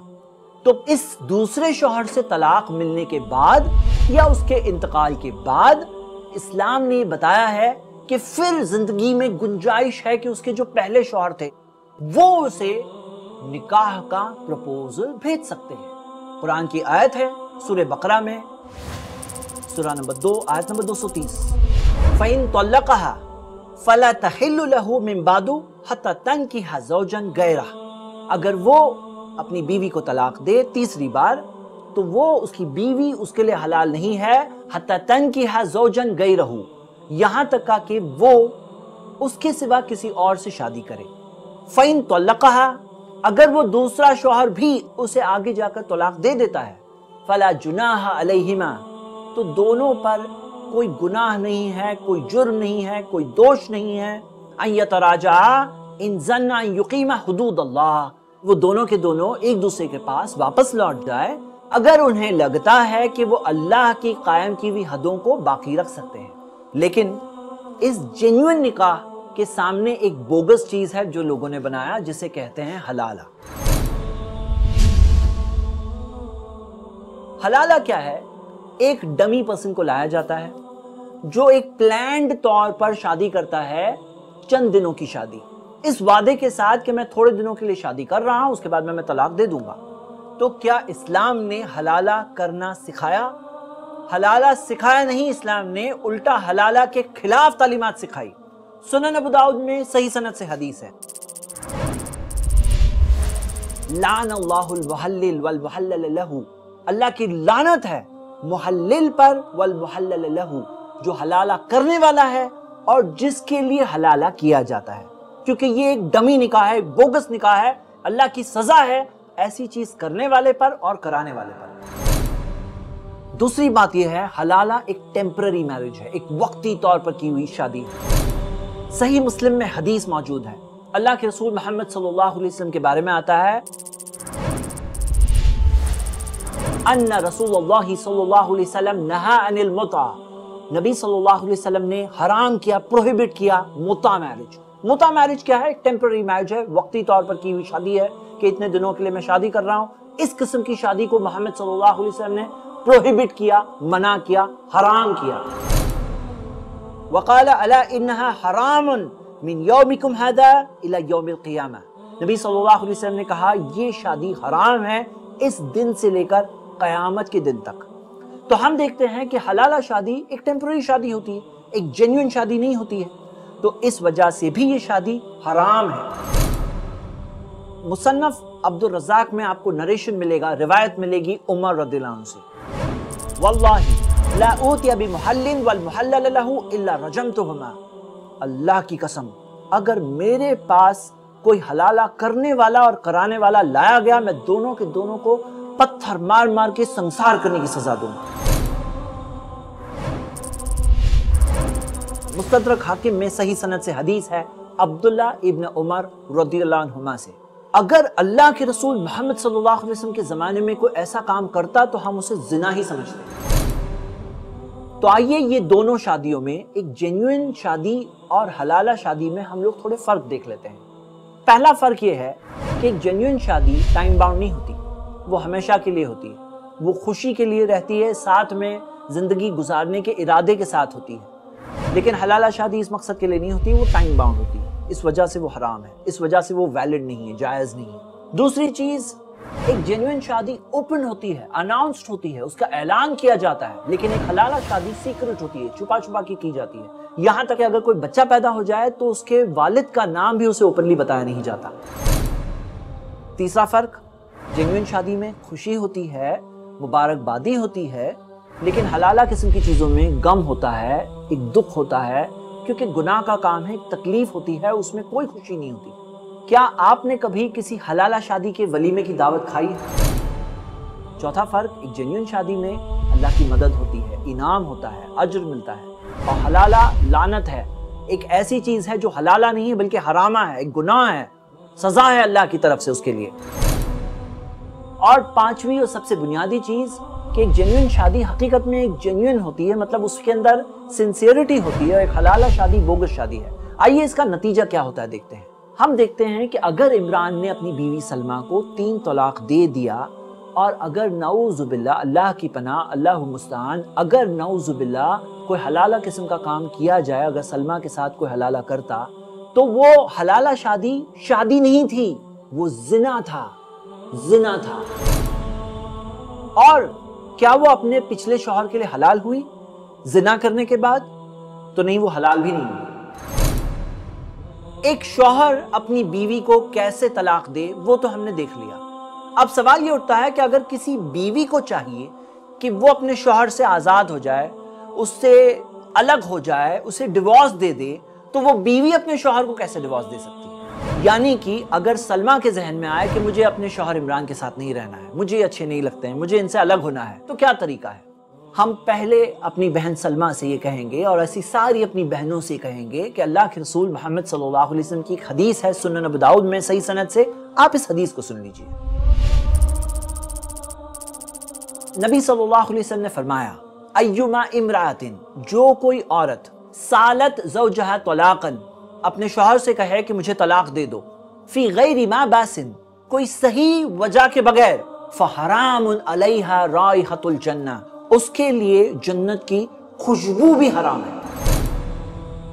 بہت سی عورتوں کی عادت ہوتی ہے، بعد بعد میں مجھے طلاق دے دو، مجھے طلاق دے دو، مجھے طلاق دے دو۔ یہاں تک کہ کئی سارے ایسے کیس بھی ہوتے ہیں جہاں شوہر جا کے طلاق دے دیتا ہے تو وہ بولتی مجھے طلاق کیوں دے دی لیکن اگر سلمہ کو کوئی جنوین بہت بڑا پرابلم ہے اور سچ مچ وہ الگ ہونا چاہتی ہیں، تو ہم اپنی بہن سے بھی کہیں گے کہ اگر کوئی صلاح کی شکل نکلتی ہے تو وہ نکالیے آپ اپنے شوہر کے ساتھ رہیں، آپ کے بچے آپ کے ساتھ رہیں، یہ سب سے آئیڈیل سچویشن ہے۔ آپ اپنے طور پہ بیسٹ کوشش کریے، لیکن اگر آخر میں کوئی راستہ نہیں بنتا تو کیا طریقہ ہے؟ وہ ہم بتا دیتے ہیں۔ عورتوں کے لیے علیحدگی ڈیورس پانے کا طریقہ کھلا ہے۔ کھلا کے اندر دو پاسبلٹیز ہے یا تو وہ اپنے شوہر سے کہے کہ مجھے کھلا دے دو، یا تو ہماری مثال میں سلمہ یا کوئی عورت قاضی کے پاس جائے اور قاضی کے پاس جا کر اپنے شوہر کی شکایت کرے کہ مجھے اپنے شوہر سے یہ یہ یہ پرابلم ہے اور اس وجہ سے میں اس سے علیحدگی چاہتی ہوں، میں اس سے الگ ہونا چاہتی ہوں۔ اب قاضی کے پاس یہ اختیار ہوتا ہے کہ وہ شوہر کو بلاتا ہے اور بلا کر کے اس کی طرف کی باتیں سنتا ہے۔ دونوں طرف کی باتیں سن کر وہ دونوں کو الگ کرنے کا فیصلہ کھلا کے طور پر، جسے نکاح فسخ بھی کہتے ہیں یعنی کہ نکاح خود کینسل کر دیا جاتا ہے، قاضی یہ کر سکتا ہے۔ اللہ تعالیٰ نے اس قاضی کو یہ رائٹ دیا ہے۔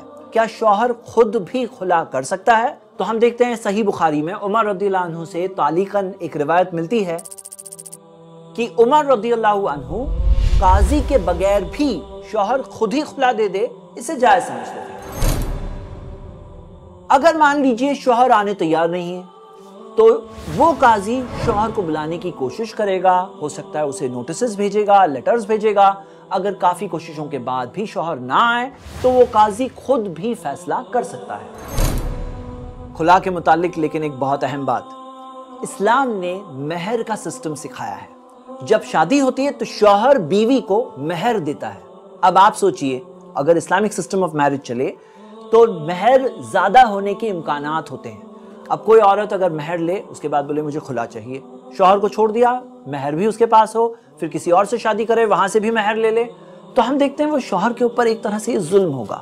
تو اسلام میں کھلا میں یہ سسٹم ہے کہ اگر کوئی عورت کہتی ہے کہ میں کھلا چاہتی ہوں، تو قاضی اسے یہ سوال پہلا پوچھتا ہے کہ کیا تم مہر کی رقم واپس دینے تیار ہو؟ اب مان لیجیے مہر کے اندر شوہر نے سونا دیا تھا یا بہت ساری چیزیں دی تھی تو کیا وہ بیوی اس چیز کو واپس دینے تیار ہے؟ صحیح بخاری میں حدیث ہے، ثابت بن قیس رضی اللہ عنہ کی بیوی اللہ کے رسول محمد صلی اللہ علیہ وسلم کے پاس آئی اور آ کر کے انہوں نے کہا کہ میں ثابت کے دین یا اخلاق میں کوئی عیب نہیں جانتی، لیکن میں ان کے ساتھ صحیح طرح سے نہیں رہ پاتی، اسی وجہ سے میں الگ ہونا چاہتی ہوں۔ تو اللہ کے رسول محمد صلی اللہ علیہ وسلم نے ان سے پوچھا کہ ثابت نے جو باغ تمہیں مہر میں دیا تھا، کیا وہ باغ واپس دینے تیار ہو؟ تو انہوں نے کہا ہاں۔ تو اللہ کے رسول محمد صلی اللہ علیہ وسلم نے ثابت رضی اللہ عنہ کو اپنی بیوی کو کھلا دینے کا حکم دیا۔ اس بارے میں قرآن کی آیت سورہ بقرہ، سورہ دو، آیت نمبر 229 ہے۔ فَإِن خِفْتُمْ أَلَّا يُقِيمَ حُدُودَ اللَّهِ فَلَا جُنَاحَ عَلَيْهِمَا فِي مَفْتَدَتْ بِهِ۔ اگر تمہیں ڈر ہے کہ یہ دونوں اللہ کی حد قائم نہیں کر پائیں گے، تو کوئی گناہ نہیں ہے کہ وہ عورت اپنی رہائی پانے کے لیے کچھ دے دے۔ تو اس معاملے میں عمران دو گواہوں کی موجودگی میں اپنی بیوی سے کہے گا کہ میں تمہیں کھلا دیتا ہوں۔ کھلا کی عدت کتنی ہے؟ کھلا کی عدت ایک حیض آنے تک ہے۔ کیا کھلا کے بعد دونوں ساتھ میں رہیں گے؟ تو نہیں، کھلا کے بعد دونوں ساتھ میں نہیں رہتے۔ ہیں کیا کھلا کے بعد رجوع ہے؟ کیا عمران اگر کھلا دینے کے بعد چاہتا ہے کہ اپنی بیوی کو واپس لے لے، تو کیا لے سکتا ہے؟ ہم دیکھتے ہیں کھلا ایک ایسا تیر ہے جو نکل گیا تو واپس نہیں آتا۔ یعنی کہ کھلا اگر ہو گیا، اس کے بعد رجوع نہیں ہوتا۔ اگر کھلا کے بعد دونوں کو ساتھ میں آنا ہے، تو ایک نیا نکاح کرنا ہوگا، جس میں پھر سے عمران اپنی بیوی کو پروپوزل بھیجے گا۔ وہ اس پروپوزل کو قبول کرے گی، ولی کی اجازت ہوگی۔ دو گواہوں کے بعد پھر سے ایک نئے مہر کے ساتھ ایک نیا نکاح کر کے دونوں پھر سے ساتھ میں آ سکتے ہیں۔ آئیے کوئکلی دیکھ لیتے ہیں طلاق اور کھلا میں کیا فرق ہے۔ طلاق میں رجوع یعنی بیوی کو واپس لینے کا امکان ہے پاسبلٹی ہے، تین مہینے کا وقت ہے۔ اگر پہلا یا دوسرا طلاق ہے تو خلا میں کوئی رجوع نہیں۔ طلاق حیض کے وقت پر نہیں دیا جا سکتا۔ خلا کسی بھی وقت دیا جا سکتا ہے۔ طلاق دینے والا شوہر ہے خلا میں شروعات بیوی کی طرف سے ہوتی ہے۔ شوہر یا تو اس کی بات کو مان لے یا قاضی کے ذریعے خلا نافذ کیا جائے۔ طلاق کے اندر عدت تین حیض کی ہے۔ خلا کے اندر عدت ایک حیض ایک منسز آنے تک ہے۔ طلاق کے اندر بیوی مہر واپس نہیں دے گی۔ وہ مہر اس کا ہے۔ مہر ہو، ہدیے ہو، کچھ بھی واپس نہیں دے گی۔ خلا کے اندر بیوی مہر واپس دے دے گی۔ لیکن اگر شوہر کہے، نہیں چاہیے مجھے، رکھو آپ ہی، تو کوئی بات نہیں۔ لیکن اہم سوال، کیا طلاق کے اندر جو تین کی لمٹ ہے، وہ تین کی لمٹ کے اندر خلا بھی شامل ہوگا یا نہیں ہوگا؟ آپ اگر سورہ بقرہ کی سورہ نمبر دو، آیت نمبر 229 اور 230 کی تفسیر دیکھیں، تو وہ تفسیر سے بات واضح ہو جاتی ہے کہ خلا ایک الگ ہی چیز ہے۔ طلاق اور خلا میں بہت سارے فرق ہے جیسا کہ ہم دیکھ چکے ہیں۔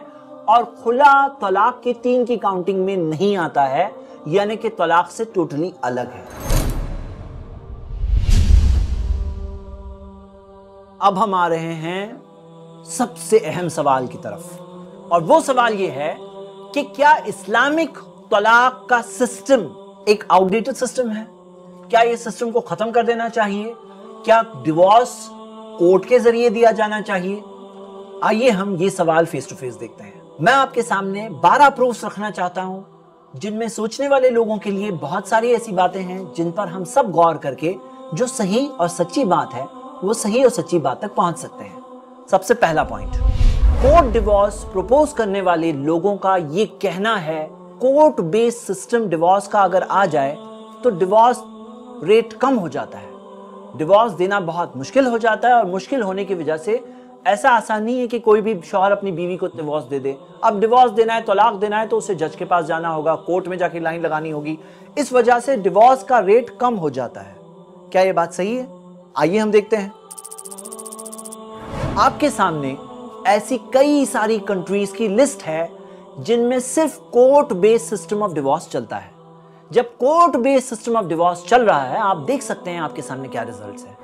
بیلجیم میں اگر سو شادیاں ہوتی ہے تو سیونٹی ون ڈیوارس ہوتے ہیں۔ سیونٹی ون پرسینٹ ہے ڈیوارس ریٹ پورچوگل میں سکسٹی ایٹ پرسینٹ ہنگری میں sixty seven percent Czech Republic میں سکسٹی سکس پرسینٹ اسپین میں سکسٹی ون پرسینٹ لگزمبرگ میں سکسٹی پرسینٹ ایسٹونیا میں ففٹی ایٹ پرسینٹ کیوبا میں ففٹی سکس پرسینٹ فرانس میں fifty five percent اور امریکہ میں fifty three percent divorce rate ہے. کیا ڈیوارس ریٹ کم ہو گیا؟ کورٹ بیس سسٹم سے آپ کے سامنے پروف ہے.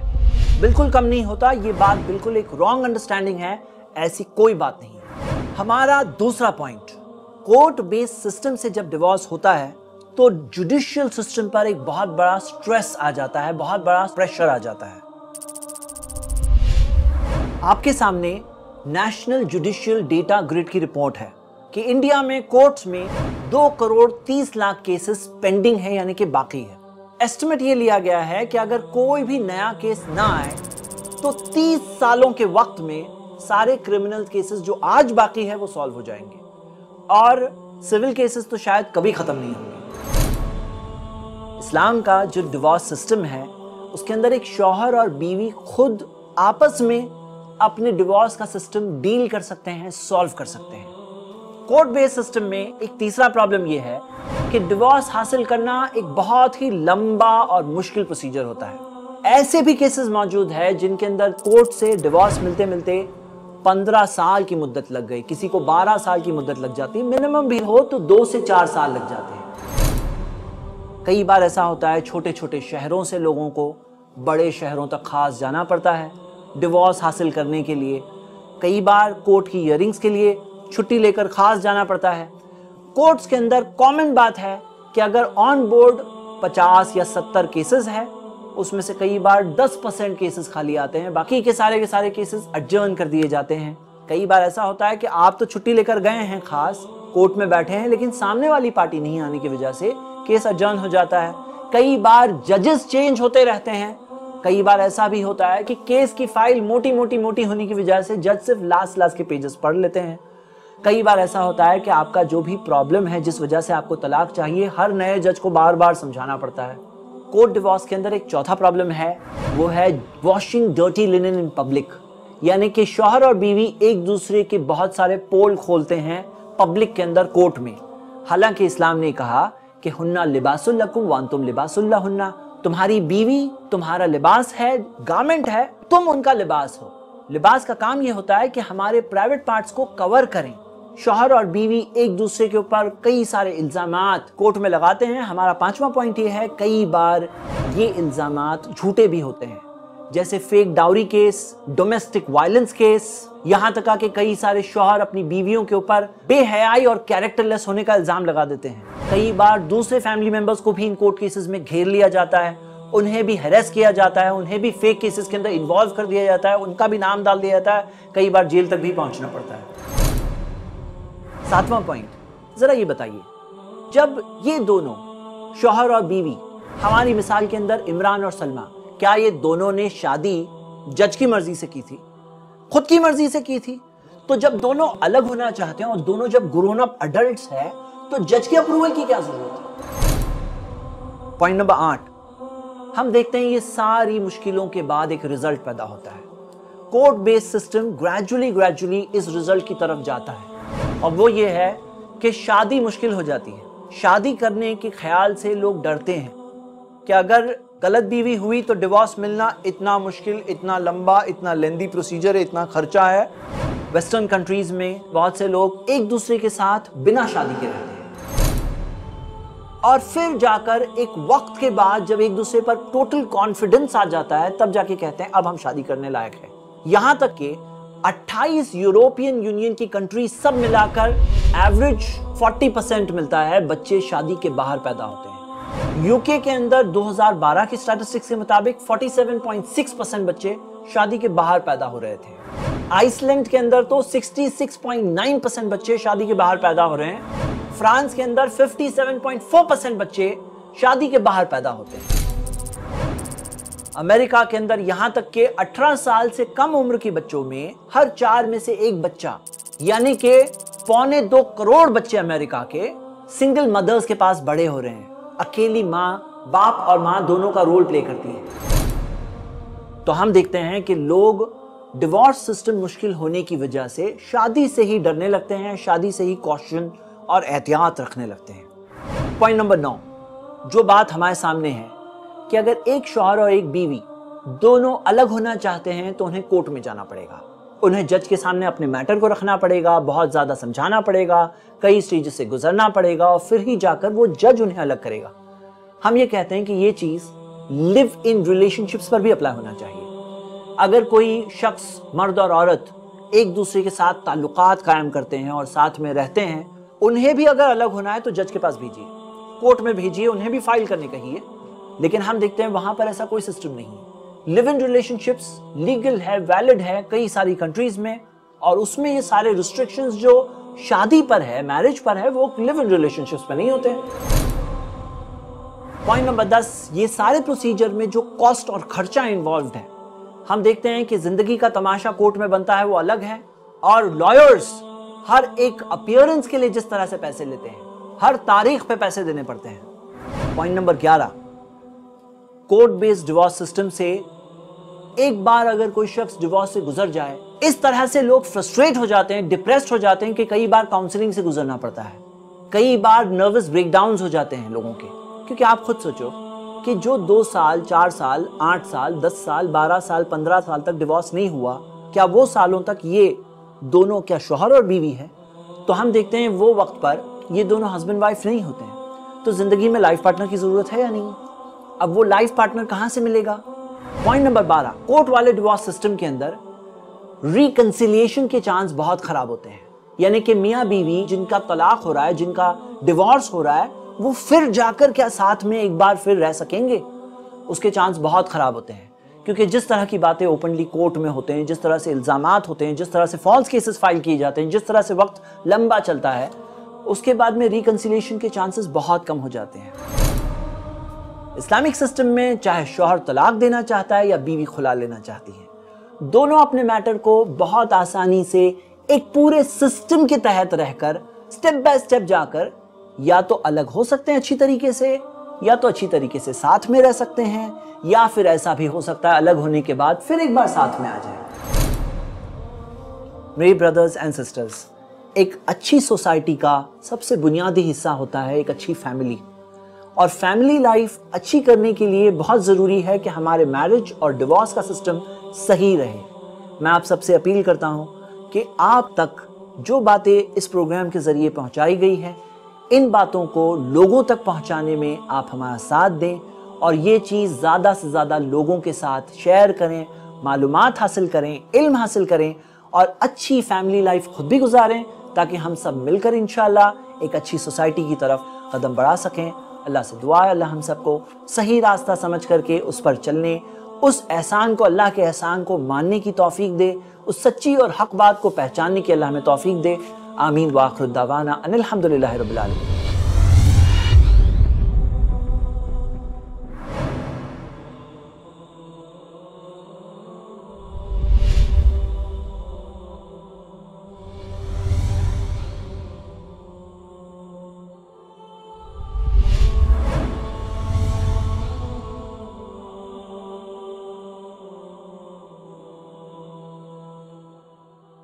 اللہ کے دین کی دعوت اور لوگوں تک پہنچانے کے لیے اس ویڈیو کو ضرور لائک، شیئر، کمنٹ اور سبسکرائب کریں۔ آپ کے اس چینل کو اور بہتر بنانے کے لیے آپ کا ساتھ ضروری ہے۔ صرف آئی پلس ٹی وی پر بہتر زندگی کے لیے۔